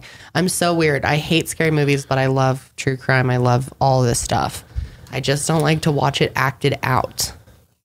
I get that. And I think you're, a lot of people are in the same boat as you. Like, Yeah. some people just don't want to put that negativity in their head. And I get that. yeah, like, exactly. If you have anxiety, it's like why make why give myself anxiety Yeah. for two hours? Like I just Which I mean, I wouldn't be like watching that kind of shit every day. Like, Yeah. I couldn't do that every day. Like, I don't watch that often, like Mhm. well, here and there. But yeah, I don't know. I don't know. Well, the one, the last interesting thing I'll mention about the Lutzes is that they did take a lie detector test about their story and they did pass that. interesting. Which, again, take it with a grain of salt. Yeah. Like, people can, Fake you know, lie detectors fake lie detectors, or But I don't know. I mean, they could be telling the truth. I don't have the It's lie detector test in front of me, It's so I don't fucking say. know. Interesting story though. Really is. It's is. extremely interesting. So, where's that house now? You want to go see it? new. And they tell like they've interviewed people in the town. They're like, please don't come see it. Yeah, they're so sick of it because people Yeah. flock there every year Yeah. to fucking See take the pictures whole of it thing, and yeah. place. Because it's privately owned now. It was actually last sold in the summer of 2016, and they actually changed the address from 112 to now 108 Ash- Ocean Avenue, which that did nothing if they're yeah, trying to yeah. like people still keep know. people away yeah. from it. But well, yeah, it'd be interesting to talk to the current owners and see if they're having any issues or if they've noticed anything. Yeah. Imagine living in that house, man. But still, like even just the fact, would you ever want to live in a house that had No. something as Dude, I'd tear Tragic, that down and build a new. brutal? Yeah, yeah, exactly. I feel like fuck. Yeah. And you see really that in so many scary. hauntings where people that's the reason why their Yes. shit's haunted is because literally, you know, people died in their house and uh, people that have died in, you know, a negative way Yeah. oftentimes Can linger imprint- behind and right. can imprint or whatever and start haunting the place or the space or whatever. And yeah, I think that's very possible. So yeah, I would just tear the shit down. But I mean, apparently people are living in it and they haven't torn it down yet. And and according to Zillow, it sold for six hundred five thousand in February of two thousand seventeen. And none of the other owners have reported experiencing anything paranormal while in the residence. Yeah. So there you go, so right there. everybody except for the Lutzes have Yeah. not experienced paranormal. ha. so Interesting. it's like either what happened was George was some type of black mage summoner that summoned a demon from the depths of or he just was interested in this whole world. He saw an opportunity Yeah. and he jumped. maybe And they're like, we get this house wicked cheap and look what we could do, babe. flip it, And make this whole thing. Flip get it. rich. yeah, Flip it into a whole story. Flip it into a lot of fucking a- money. Flip it into millions. Interesting. Crazy. So like there's some people have oh you know over time been like oh there's this reason why it could be haunted this reason that could be haunted like some people have said that there was old Indian burial burial grounds underneath Yeah. it things like that or Which I'm pretty sure our Debunked. house is too, though. Like this whole area I mean in Colorado everywhere is Native American. for all we know yeah Yeah. but like they thought it was like a really like a planned burial ground and it's not like they've debunked pretty much all the claims as far as to why it could be haunted or they did say Mm. like someone from Salem came down and was like a witch or something and and lived in it. I mean, you know how Yeah. people find every reason to Yeah. try to like make a what do you haunted. guys think? Let us know. Do you think that the house is actually haunted? And who do you think carried out the murders? Was it just Butch or Yeah. was it Butch and Dawn or Butch, Dawn, and someone else we don't know about? Or was it just like one of them got possessed and Could then there be have been a possession? Yeah. was one possessed, even though there's no evidence that he was possessed because he did like get rid of everything very methodically. But Yeah. I mean, who knows? I mean, yeah, let us know what you guys think about this or Yes, please. your opinions on this interesting case. But yeah, I like talking about the paranormal, so it's kind of fun. It we is. should do a more like haunted ghost yes. type thing. One Yeah. that's not bullshit. not a bullshit haunting. yes. I, and like I said, we want to get some paranormal Yeah, we will. We will. We have we will one. be getting We have one, which in the works. yes, Yeah. It's a pretty big maybe in deal. the next like week or two, even. What? Yeah, Really? yeah, like ASAP. Oh, ASAP. ASAP Rocky. Okay. We just like beam that back to each other. That's so funny. Stop. My, my dog's attacking my leg. She's done. He's she like, just wants "We're to go with this." upstairs. But It is like almost midnight. We're podcasting. Sorry, puppy. Sorry. But we will go ahead and wrap it up there, guys. Hopefully, you guys enjoyed this episode of the Mile Higher Podcast. If you did, leave us a like, subscribe, follow us on Spotify, iTunes, Instagram, Twitter. Twitter. Check us out. Follow us so you never miss an episode or some juicy news. But yeah, thanks again for listening. We will see you guys next week Stay safe. and stay woke.